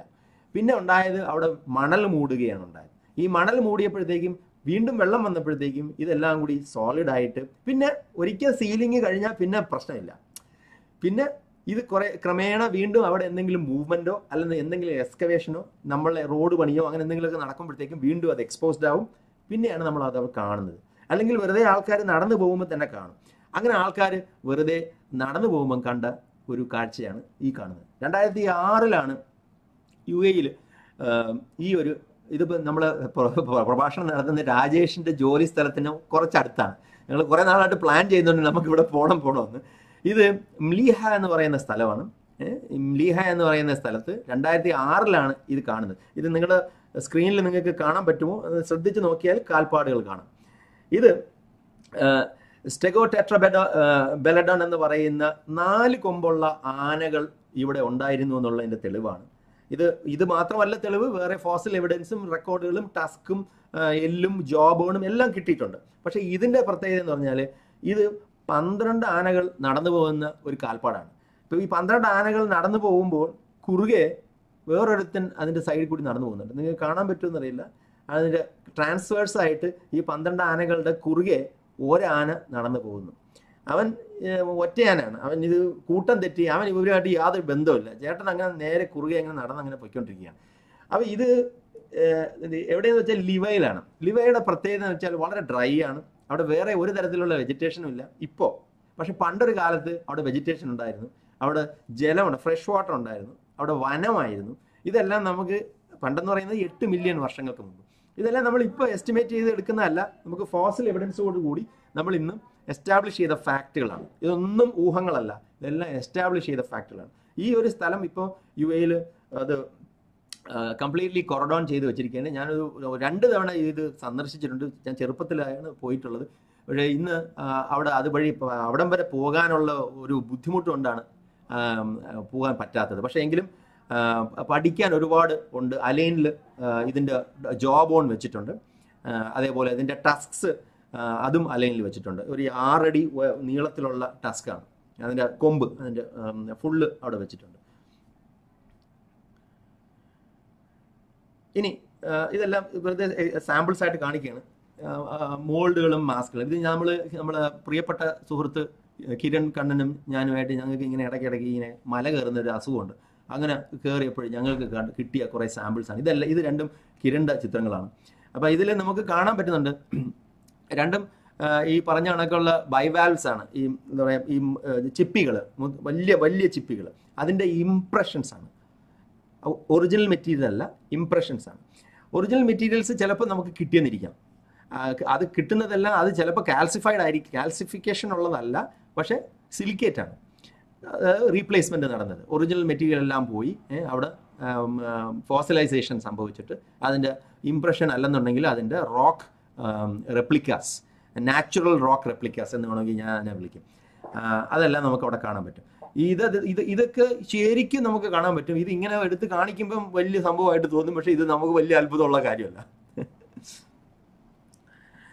ഇനിയുള്ള പരിപാടിയാണ് ഈ മൈക്രോ പേലിയന്റോളജി ഈ ഫോർമിനിഫെറ എന്ന് പറയുന്ന വളരെ സൂക്ഷ്മ ജീവികളുണ്ട് ഈ സൂക്ഷ്മ ജീവികൾ വളരെ വളരെ ഇമ്പോർട്ടന്റ് ആയിട്ടുള്ള നമുക്ക് പഠിക്കാൻ ഒരുപാട് കാര്യങ്ങൾ നമുക്ക് തരുന്നുണ്ട്. അതിൽ പ്രധാനപ്പെട്ട ഒരു സംഗതി എന്ന് വെച്ചാൽ ഈ ക്ലൈമറ്റ് ചേഞ്ച് എങ്ങനെ നടക്കുന്നു?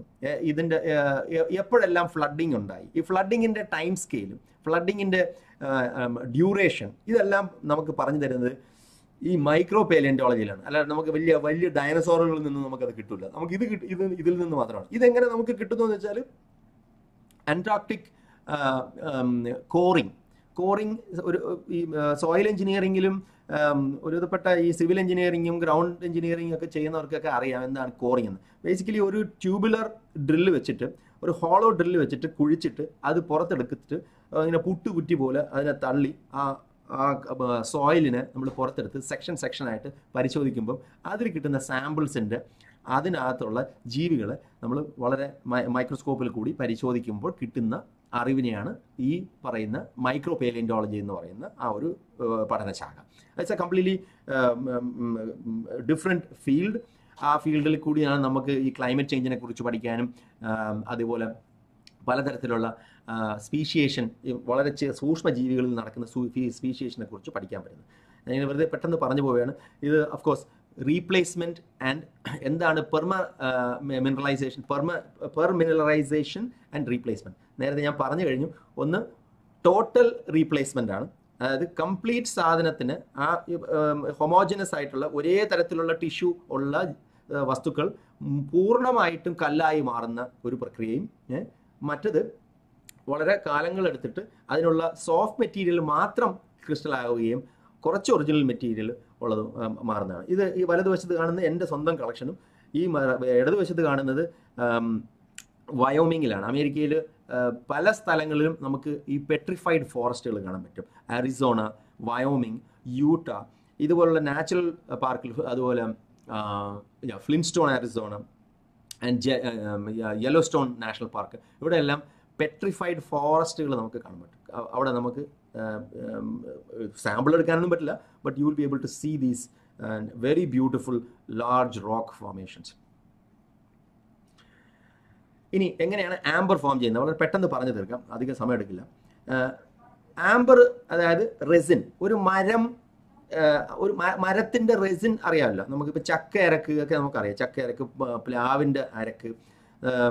ഒരുപാട് മരങ്ങളിൽ നിന്നും ഹെൽത്തി ആയിട്ടുള്ള മരം ഇത് വെറുതെ ഊസിങ് ഉണ്ടാവില്ല. എന്തെങ്കിലും ക്ഷതമേറ്റിട്ടുള്ള മരങ്ങൾ അല്ലെങ്കിൽ അസുഖമുള്ള മരങ്ങളിൽ നിന്നാണ് ഇത് ഉണ്ടാകുന്നത് അപ്പോൾ ഒരു കാരണം അതാണ്. രോഗം ഉണ്ടാവണം. അപ്പം അങ്ങനെ ഇത് ഊസ് ചെയ്ത് വരുമ്പോൾ ആ പോകുന്ന വഴിയിൽ ആ ഏതെങ്കിലും ഒരു പക്കി ചെറിയ ഒരു പക്കി അവിടെ ഉണ്ടാണ് പക്കിയോ? ഞാൻ ഉദ്ദേശിക്കുന്നത് ഇൻസെക്റ്റ് ആണ്. തിരുവനന്തപുരം ഭാഷയാണ് പക്കി. ആ ഏതെങ്കിലും ഒരു ഇൻസെക്റ്റ് അവിടെ ഉണ്ടായിരിക്കണം. ആ ഇൻസെക്റ്റ് ഇതിൽ ട്രാപ്ഡ് ആവണം. ട്രാപ്പ് ആയതിനു ശേഷം ഇത് താഴെ വീഴണം. താഴെ വീണാൽ പോരാ. താഴെ വീണതിന് ശേഷം വെള്ളം ഉണ്ടാവണം. ഈ വെള്ളത്തിൽ ഇത് ഒലിച്ചു പോകണം. ഈ ഒലിച്ചു പോയതിനു ശേഷം വീണ്ടും നേരത്തെ പറഞ്ഞ കഥകളെല്ലാം വരും. അതായത് സെഡിമെന്റേഷൻ ഉണ്ടായി ഇതിന് അനോറോബിക് പ്രോസസ്സിൽ കൂടി കവർ ചെയ്ത് അതിന് മുകളിൽ കുറെ കാലം അത് അടിയിൽ കിടന്ന് ട്രാൻസ്ഫോംഡ് ആവണം it becomes a a solid resin polymerization സംഭവിക്കുന്നു. പോളിമറൈസേഷൻ എന്താണെന്ന് അറിയാമല്ലോ? പ്ലാസ്റ്റിഫിക്കേഷൻ പ്ലാസ്റ്റിക് ആയി മാറുന്നു.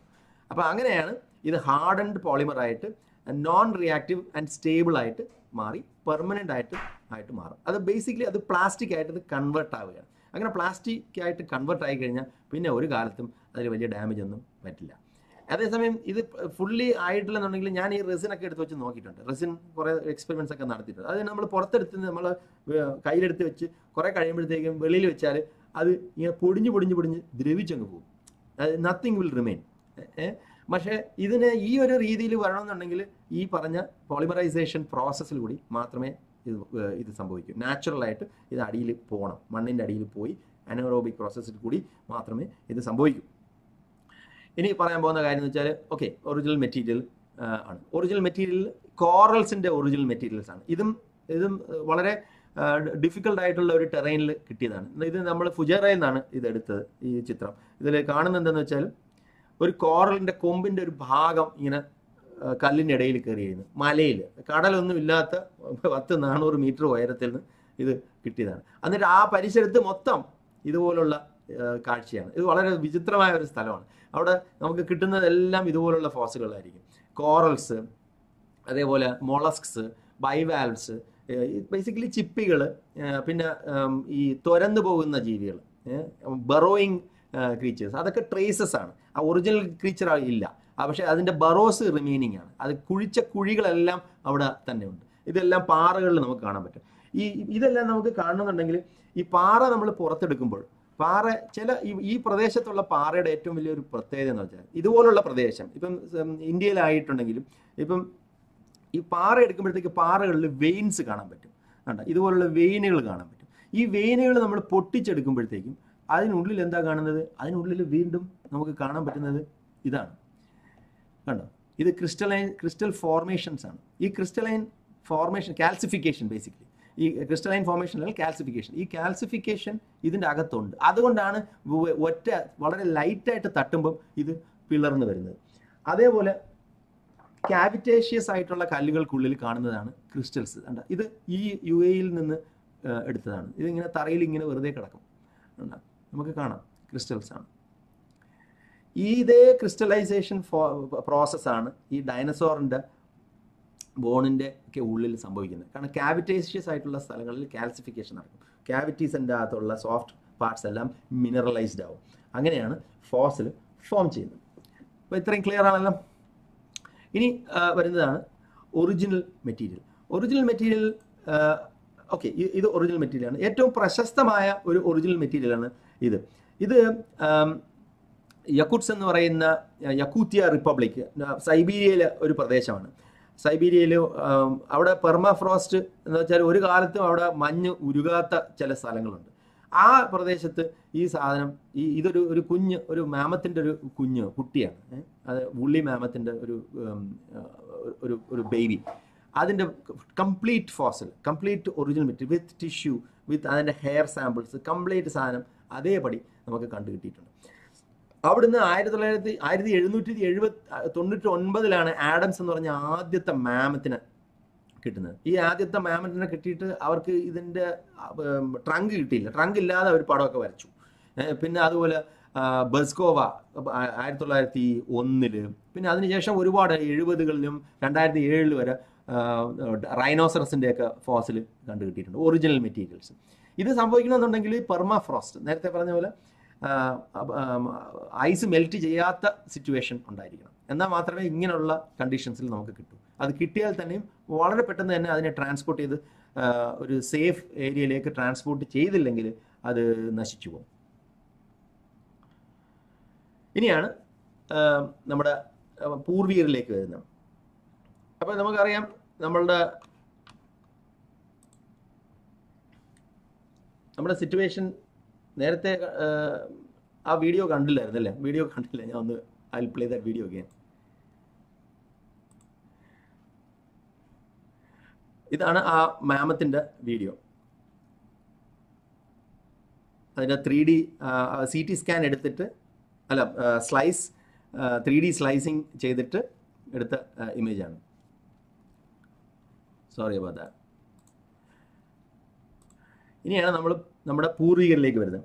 അപ്പം നമുക്ക് ഇന്നേ വരെ നമുക്ക് കിട്ടിയിട്ടുള്ള ആറായിരം സ്കൾ സാമ്പിൾസും ബോൺ സാമ്പിൾസും ഒക്കെയാണ് നമുക്ക് കിട്ടിയിട്ടുള്ളത്. നമ്മളുടെ ഈ ബോണുകൾ നമ്മൾ എടുക്കുമ്പോഴത്തേക്കും നമുക്ക് ചിലപ്പം പൂർണമായിട്ട് ഒരു രൂപമൊന്നും കിട്ടില്ല. ചിലപ്പം ഒരു ഇടത് ഭാഗം മാത്രം കിട്ടും. പിന്നെ നമ്മൾ വലത് ഭാഗം നമ്മൾ എസ്റ്റിമേറ്റ് ചെയ്തെടുക്കുകയാണ്. അതുകൊണ്ടാണ് നമുക്ക് ക്ലിയർ ആയിട്ട് ഒരു ഫുൾ രൂപം കിട്ടാൻ വളരെ പ്രയാസമാണ്. ഈ ലൂസിയെ തന്നെ നമുക്ക് കിട്ടിയിട്ടുള്ളത് എപ്പോഴെന്ന് വെച്ചാൽ ഇത്യോപ്യയിൽ നിന്നാണ്. ഇത്യോപ്യയുടെ ആ ഹോൺ ഓഫ് ആഫ്രിക്ക ആ- പ്രദേശത്തു നിന്നാണ് കിട്ടിയത്. അവിടുന്ന് ഒരു അനേകം അതിനുശേഷം ഒരുപാട് ഫോസിലുകൾ നമുക്ക് കിട്ടിയിട്ടുണ്ട്. അവിടെ നിന്നാണ് നമ്മൾ എസ്റ്റാബ്ലിഷ് ചെയ്യുന്ന നമ്മളുടെ പൂർവികർ അവിടെ നിന്നാണ് നമ്മുടെ യാത്ര തുടങ്ങിയതെന്ന്. നമ്മളെല്ലാം ആഫ്രിക്കക്കാരാണെന്ന് പറയുന്നതിന് അല്ലാതെയും ജനറ്റിക് തെളിവുകളുണ്ട്. പക്ഷേ പ്രാക്ടിക്കലി എക്സ്കവേഷനിൽ കൂടിയും ആർക്കിയോളജിക്കൽ എവിഡൻസ് പേലിയന്റോളജിക്കൽ എവിഡൻസിൽ കൂടി കിട്ടിയിട്ടുള്ള ഫോസൽ റെക്കോർഡിൽ തന്നെ അത് വ്യക്തമായിട്ട് പറയുന്നുണ്ട്. ഇതിൽക്ക് ഈ എല്ലുകൾ നമ്മൾ എടുക്കുമ്പോഴത്തേക്ക് നമുക്ക് പറയാൻ പറ്റുന്നത് നമ്മൾ എപ്പോഴാണ് നടന്നു തുടങ്ങിയത്? എപ്പോഴാണ് നമ്മൾ അപ്രൈറ്റ് ആയിട്ട് നിവർന്ന് നമ്മൾ നടന്നു തുടങ്ങിയത്? എന്നെല്ലാം ഫോസൽ റെക്കോർഡിൽ കൂടിയാണ് നമുക്ക് അറിയാൻ പറ്റുന്നത്. അത് മാത്രമല്ല എല്ലുകൾ പരിശോധിക്കുമ്പോൾ നമുക്ക് വേറെയും ചില കാര്യങ്ങൾ പഠിക്കാൻ പറ്റും. ഫോർ എക്സാമ്പിൾ നമ്മുടെ സോഷ്യൽ ഹാബിറ്റുകളെ കുറിച്ച് പഠിക്കണമെന്ന് മനസ്സിലാക്കണമെന്നുണ്ടെങ്കിൽ അതായത് നമ്മളൊരു സോഷ്യൽ ആനിമലാണ് നമ്മൾക്ക് പര സഹായം ചെയ്യാനുള്ള ഒരു ഒരു ഇതൊക്കെ നമുക്ക് തോന്നുന്നുണ്ട് ഒരു കമ്മ്യൂണിറ്റിയിൽ ജീവിക്കണം എന്നുള്ളത് മനസ്സിലാക്കണമെന്നുണ്ടെങ്കിൽ ബോൺ ഫ്രാക്ചേഴ്സ് ഹീൽ ചെയ്തതിന്റെ തെളിവുകൾ ഉണ്ടെങ്കിൽ നമുക്ക് അറിയാൻ പറ്റും. അതായത് ഒടിഞ്ഞ എല്ലുകൾ മൃഗങ്ങൾക്കുണ്ടെങ്കിൽ പിന്നെ അവൻ സർവൈവ് ചെയ്യില്ല. അവന് ഭക്ഷണം ആരും കൊണ്ട് കൊടുക്കില്ല. അതേസമയം ഒടിഞ്ഞ എല്ലുള്ള ഒരു മനുഷ്യനാണെന്നുണ്ടെങ്കിൽ അവനെ സംരക്ഷിക്കാനും അവന് ശുശ്രൂഷിക്കാനും നഴ്സ് ചെയ്യാനും ഒക്കെ ഒരു മനോഭാവം ഉണ്ടെന്നുണ്ടെങ്കിൽ അതൊരു ഉയർന്ന ഒരു സൊഫിസ്റ്റിക്കേറ്റഡ് ഉള്ള ഒരു ജീവിക്ക് മാത്രമേ അങ്ങനെ ചെയ്യാൻ പറ്റൂ. അതൊക്കെ ചെയ്തിട്ടുള്ളതിന്റെ തെളിവുകളൊക്കെ നമുക്ക് ഇതുപോലുള്ള എക്സ്കവേഷനിൽ കൂടിയാണ് ഫോസിൽ റെക്കോർഡുകളിൽ കൂടിയാണ് നമുക്ക് അറിയാൻ പറ്റുന്നത്. പിന്നെ അതുപോലെ പുരുഷനും സ്ത്രീയും തമ്മിലുള്ള ഡിഫറൻസസ് അവരുടെ ജോലികൾ എന്തൊക്കെയാണ് ചെയ്യുന്നത്? ഉദാഹരണത്തിന് യു എയിൽ നമ്മളിപ്പം ജിയോളജിയിൽ നിന്നും സോറി പേലിയന്റോളജിയിൽ നിന്നും കുറച്ച് ആന്ത്രോപോളജിയിലേക്ക് പോവുകയാണെങ്കിലും അത് കേൾക്കുന്നതുകൊണ്ട് ബുദ്ധിമുട്ടില്ല എന്ന് തോന്നുന്നു. കാര്യം വളരെ ഇമ്പോർട്ടന്റ് ആയിട്ടുള്ള ഒരു ചില സൂചനകൾ നമുക്ക് കിട്ടുന്നുണ്ട്. സൊസൈറ്റിയെക്കുറിച്ചും സോഷ്യൽ ഹാബിറ്റുകളെ കുറിച്ചും ഇക്കണോമിക് ഡിവിഷൻസിനെ കുറിച്ചും അതായത് നമ്മുടെ ഡിവിഷൻ ഓഫ് ലേബറെ കുറിച്ചും സ്ത്രീകൾ എന്ത് ജോലി ചെയ്തു പുരുഷന്മാർ എന്ത് ജോലി ചെയ്യുന്നുള്ളതെല്ലാം ഫോസിൽ റെക്കോർഡിൽ നിന്നാണ് നമ്മൾ പഠിക്കുന്നത്. ഈ ഉമ്മൽ കുവൈനിൽ ഒരു എക്സ്കവേഷൻ സൈറ്റ് ഉണ്ടായിരുന്നു. അതായത് ഈ ജബൽ ബുഹൈസ് കഴിഞ്ഞാൽ ഏറ്റവും കൂടുതൽ ബോഡീസ് റിക്കവർ ചെയ്തിട്ടുള്ള ഏകദേശം ഇരുന്നൂറ് ബോഡീസ് റിക്കവർ ചെയ്തിട്ടുള്ള ഒരു സൈറ്റാണ് തേർഡ് മില്ലേനിയം ഫോർത്ത് മില്ലേനിയം ഒക്കെ പീരിയഡിലുള്ള ഒരു സൈറ്റാണ് ഉമ്മൽക്കുമേനിലുള്ള ആ സൈറ്റിൽ ബോൺ എക്സാമിൻ ചെയ്യുമ്പോഴത്തേക്ക് മനസ്സിലാകുന്നത് ഒരുപാട് വെയിറ്റ് താങ്ങിയിരുന്ന സ്ത്രീകളാണ്. സ്ത്രീകൾ വെയിറ്റ് താങ്ങി വെയിറ്റ് കൊണ്ടുപോവുകയും അവരുടെ ബോണിന്റെ അകത്ത് ഒരുപാട് വെയറിങ് നടന്നിരുന്നു. ഹിപ്പിൽ വെയറിങ് നടന്നിരുന്നു. അതുപോലെ ബാക്കിൽ ഇഞ്ചുറീസ് ഉണ്ടായിട്ടുണ്ട്. ഇതൊക്കെ നമുക്ക് പരിശോധിക്കുമ്പോൾ മനസ്സിലാകുന്നത് ഇവർ ജോലി ചെയ്തിരുന്നു എന്നുള്ളതാണ്. ഇവർ സ്ത്രീകൾ ഒരുപാട് ജോലി ചെയ്തിരുന്നു ഫാമിങ് ചെയ്തിരുന്നു എന്നുള്ളതിന്റെ തെളിവുകളാണ്. കാരണം വെള്ളം ട്രാൻസ്പോർട്ട് ചെയ്യാനായിരിക്കാം അങ്ങനെ ചെയ്തിരിക്കുന്നത്. ഇതൊക്കെ അസംഷൻസ് ആണ്. എങ്കിലും വളരെ എഡ്യൂക്കേറ്റഡ് ആയിട്ടുള്ള അസംഷൻസും ആ ഭൂപ്രദേശത്തിന്റെ അന്നത്തെ ആ ഒരു അവസ്ഥ വെച്ചിട്ട് ഫാമിങ്ങിനുള്ള സാധ്യതകളുണ്ട്. കാരണം ഞാൻ നേരത്തെ പറഞ്ഞു ഇവിടെ വെള്ളം ഉണ്ടായിരുന്നു ഫ്രഷ് വാട്ടർ ഒരുപാട് ഉണ്ടായിരുന്നു മൃഗങ്ങളുണ്ടായിരുന്നു. എണ്ണായിരം വർഷം മുമ്പ് ഇവിടുത്തെ യൂഫ്രറ്റസും എന്ന എല്ലാം ടൈഗ്രസും ഇതേ വഴി ഒഴുകിപ്പോയിരുന്നു. ഇതെല്ലാം മുമ്പും പല പ്രസന്റേഷൻസിൽ ഞാൻ ചെയ്തിട്ടുണ്ട്. അത് ഏതൊക്കെയാണെന്നുള്ളത് ക്യു എൻ എ സെഷനിൽ നിങ്ങൾ ചോദിച്ചാൽ ഞാൻ അതിന്റെ ഡീറ്റെയിൽസ് ഞാൻ തരാം. സോ ഞാൻ ഈ പറഞ്ഞു വന്നത് ആ സൊസൈറ്റിയെ കുറിച്ചുള്ള അറിവുകൾ എല്ലിന്റെ ഷേപ്പും എല്ലിന്റെ വെയറിങ്ങും ടയറിങ്ങും നോക്കിയിട്ടാണ് നമുക്ക് മനസ്സിലാക്കാൻ പറ്റുന്നത്. അതേപോലെ ഈ പല്ല് നമ്മളുടെ പല്ലിൽ തന്നെ നമുക്ക് പല കാര്യങ്ങളും നമുക്ക് പഠിക്കാൻ പറ്റും. നമ്മൾ എന്ത് ഭക്ഷണമാണ് കഴിച്ചിരുന്നത്? നമ്മൾ എത്രമാത്രം ഡാമേജ് നമ്മുടെ പല്ലുകളിലുണ്ട്?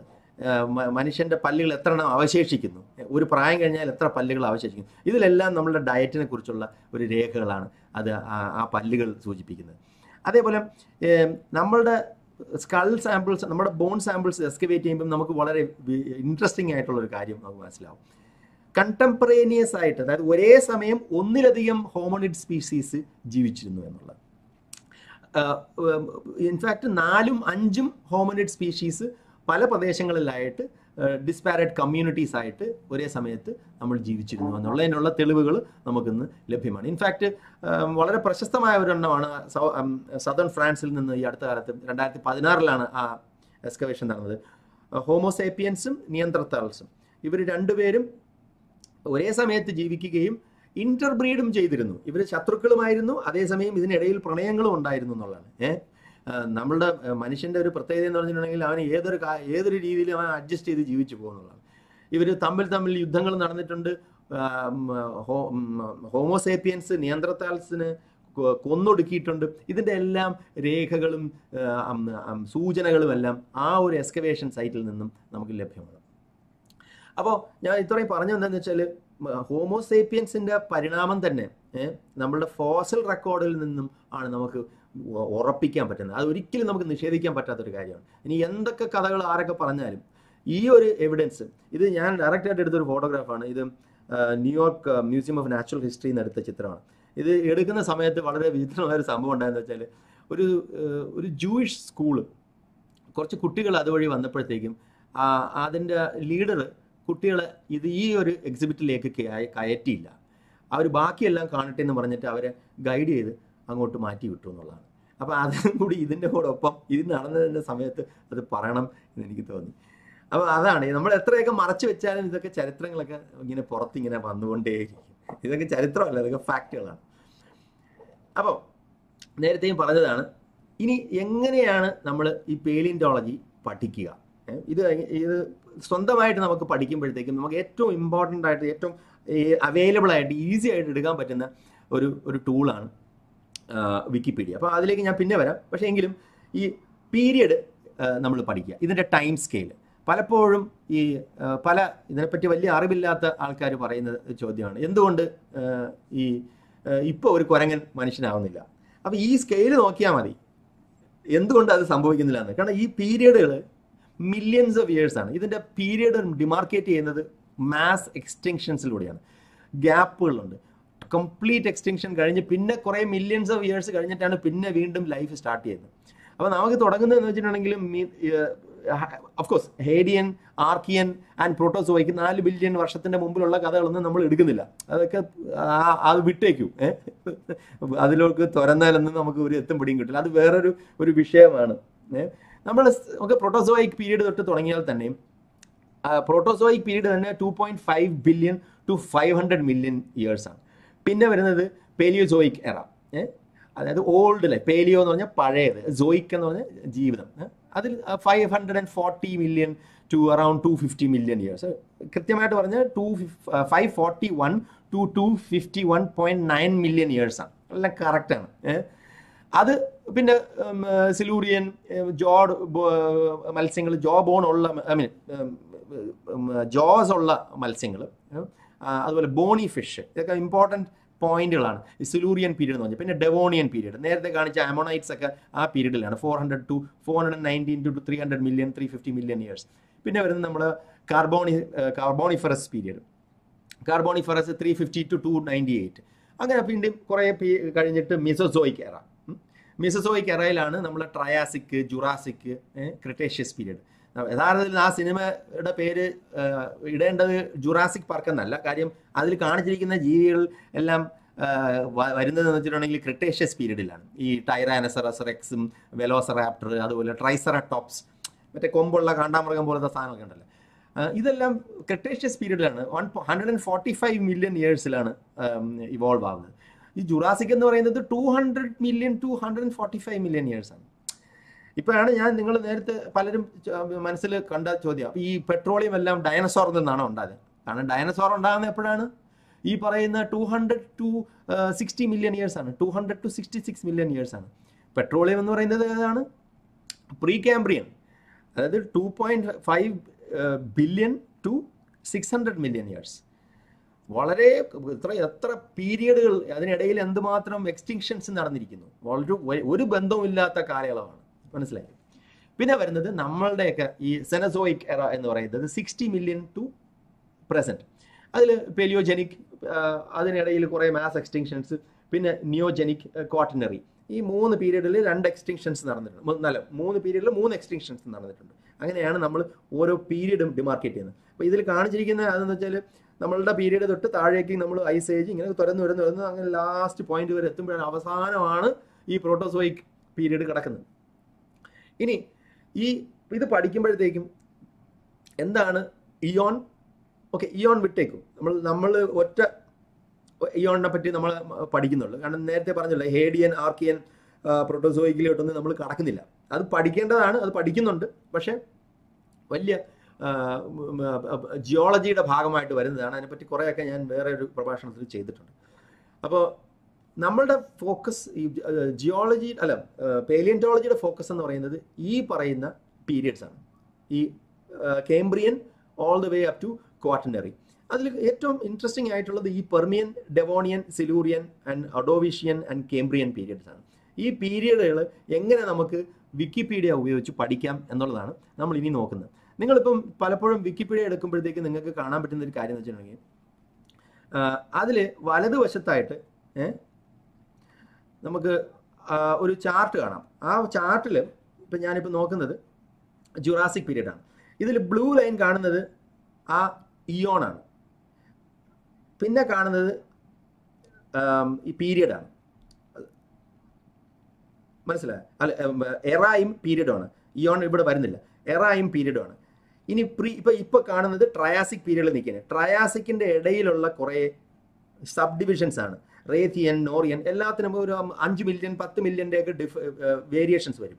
അപ്പൊ ആ അത് ഓരോന്നിന്റെ അകത്തും ഓരോരോ സ്പീഷീസിന്റെയും ഓരോരോ ക്ലൈമാറ്റിക് ചേഞ്ചസിനെയും കുറിച്ച് വിശദീകരിക്കുന്നുണ്ട്. ഇനി ഈ ട്രയാസിക് പീരീഡിന്റെ നെക്സ്റ്റ് പീരീഡ് ഏതാണെന്ന് നോക്കിയിട്ടുണ്ടെന്നുണ്ടെങ്കിൽ നമുക്ക് മുകളിലോട്ട് ക്ലിക്ക് ചെയ്താൽ two hundred million years Jurassic പീരീഡിൽ വന്നു. ഇപ്പൊ മനസ്സിലായോ? ഇനി അതിന്റെ അടുത്ത പീരീഡാണ് ക്രിട്ടേഷ്യസ് പീരീഡ്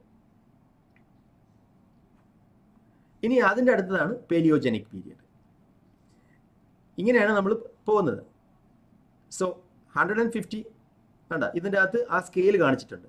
മുകളിലോട്ട് മുകളിലോട്ട് പോകുമ്പോഴത്തേക്കും പ്രായം കുറഞ്ഞു വരികയും താഴോട്ട് താഴോട്ട് പോകുമ്പോഴത്തേക്കും പ്രായം കൂടി വരികയും ചെയ്യുന്നു. ഇനി ഈ ഒരു ക്രിട്ടേഷ്യസ് പീരീഡിൽ നിന്ന് നമ്മൾ സോൺ നമ്മൾ മറ്റേ എറയിലോട്ട് മാറുകയാണെങ്കിൽ when you going to the era we will see three eras Paleozoic Cenozoic മനസ്സിലായോ? ഇതാണ് ഇങ്ങനെയാണ് ഇത് നാവിഗേറ്റ് ചെയ്യുന്നത്. വെറുതെ നമ്മൾ കുറേ എറകളും കുറേ പീരീഡുകളും ചുമ്മാ വായത വെറുതെ പറഞ്ഞിട്ട് കാര്യമില്ല. എന്താണ് ഒരു എറ എന്താണ് ഒരു പീരീഡ് പിന്നെ കുറേ അതിന്റെ സബ് ഡിവിഷൻസ് അപ്പം ഇയോൺ എറ പീരീഡ് ക്ലാസിഫിക്കേഷൻ പോലെ തന്നെ ഈ പേലിയന്റോളജിക്കൽ ടൈം സ്കെയിലിനും ഇങ്ങനെ ഒരു ക്ലാസിഫിക്കേഷൻ ഉണ്ട്. എറയുണ്ട് പീരിയഡും ഉണ്ട്. അതിന്റെ ബാക്കിലാണ് ആദ്യം വരുന്നതാണ് ഇയോൺ ഇയോൺ നമ്മൾ അധികം പറയാറില്ല. കാര്യം നമ്മൾ പലപ്പോഴും നമ്മൾ ആ ഈ രണ്ട് ഇയോ എറ മാത്രമേ ഉള്ളൂ നമ്മൾ എടുക്കുന്നത്.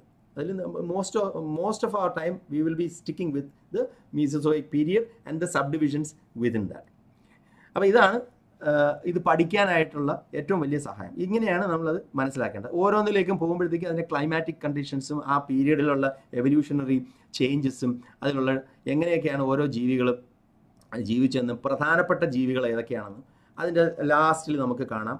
അതിന്റെ എന്താ പറയുക ഓരോരോ കീ ചേഞ്ചസ് എന്തൊക്കെയാണ് മേജർ ആ പീരീഡിൽ ഉണ്ടായത്. ക്ലൈമറ്റിനെ കുറിച്ചും പറയുന്നുണ്ട്. So this is a very important tool ഇന്ന് ഇന്ന് നമുക്ക് അവൈലബിൾ ആയിട്ടുള്ള ഏറ്റവും ഈസി ആയിട്ട് ഫ്രീ ആയിട്ട് പഠിക്കാൻ പറ്റുന്ന ഒരു ടൂളാണ് വിക്കിപീഡിയയിൽ ഈ പേലിയന്റോളജിയെ കുറിച്ചുള്ള പേലിയന്റോളജി അല്ല ബാക്കി എല്ലാ വിഷയങ്ങളും പഠിക്കാം. പക്ഷേ അതിനെ പഠിക്കാനുള്ള രീതിയും കൂടി നമ്മൾ മനസ്സിലാക്കണം.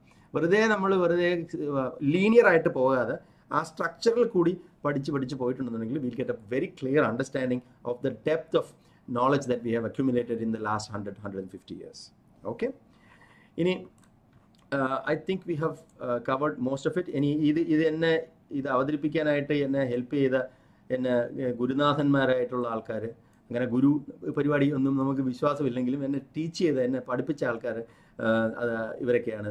ഈ ആദ്യം കാണുന്ന രണ്ടുപേര് പീറ്റർ ഹെലിയറും ഡോക്ടർ മാർക്ക് ബീച്ചും ഇവിടെ ഉള്ള ആൾക്കാരാണ്. പിന്നെ ഞാൻ പ്രണ നമ്മളെ പ്രണോയ് റോ റേ അദ്ദേഹത്തിന്റെ പുസ്തകത്തിൽ നിന്ന് ഒരുപാട് ഭാഗങ്ങൾ ഞാൻ കോട്ട് ചെയ്തിട്ടുണ്ട്. പ്രത്യേകിച്ച് ഇന്ത്യയിലുള്ള ആ ഒരു സെക്ഷനെ കുറിച്ച് ഏറ്റവും കൂടുതൽ എന്നെ എക്സ്പോസ് ചെയ്തത് ഈ ഒരു മനുഷ്യനാണ്. So I would like to thank these great people for that so we have come to N end of it ഈ ആർക്കിയോളജി ആർക്കും ചെയ്യാം. അതേപോലെ എവിടെ തുറന്നാലും എവിടെ നോക്കിയാലും നമുക്ക് എന്തെങ്കിലുമൊക്കെ കിട്ടും. അങ്ങനെ ഇത് ചില പ്രത്യേക സ്ഥലങ്ങളിൽ മാത്രം കിട്ടും എന്ന് നമ്മൾ വിചാരിക്കരുത്. എവിടെ മണ്ണുണ്ടോ എവിടെയൊക്കെ നമ്മൾ നോക്കിയാലും അവിടെ ഒരു മൈക്രോ ഫോസിലെങ്കിലും ഉണ്ടാകും. നമ്മൾ ജീവിക്കുന്നതെല്ലാം ഫോസിലുകളുടെ പുറത്താണ്. ഞാൻ ഈ പെട്രോളിയത്തിന്റെ കാര്യമല്ല പറയുന്നത്. നമ്മൾ നമ്മളുടെ കംപ്ലീറ്റ് കല്ലെന്ന് പറഞ്ഞാൽ മാർബിൾ എടുത്ത് നോക്കിയാൽ തന്നെ അതിന്റെ അകത്ത് ഇപ്പോഴും ഏതെങ്കിലും മാർബിൾ ഉണ്ടെങ്കിൽ നിങ്ങളൊന്ന് മൈക്രോസ്കോപ്പ് എടുത്ത് വെച്ച് നോക്കിയാൽ അവിടെ എന്തെങ്കിലും ഒരു ഇൻട്രസ്റ്റിംഗ് ആയിട്ടുള്ള എന്തെങ്കിലും ഉണ്ടാകും അപ്പോൾ ഒരിക്കലും കല്ലിനെ നമ്മൾ നിസ്സാരവൽക്കരിക്കരുത്. കല്ല് കല്ലിന്റെ അകത്തും കുറേ ആത്മാക്കൾ ജീവിച്ചിരിപ്പുണ്ട്. ഇത്രയും പറഞ്ഞുകൊണ്ട് ഞാൻ അവസാനിപ്പിക്കുകയാണ്. നിങ്ങൾക്ക് എന്തെങ്കിലും ചോദ്യങ്ങളുണ്ടെങ്കിൽ ചോദിക്കാം.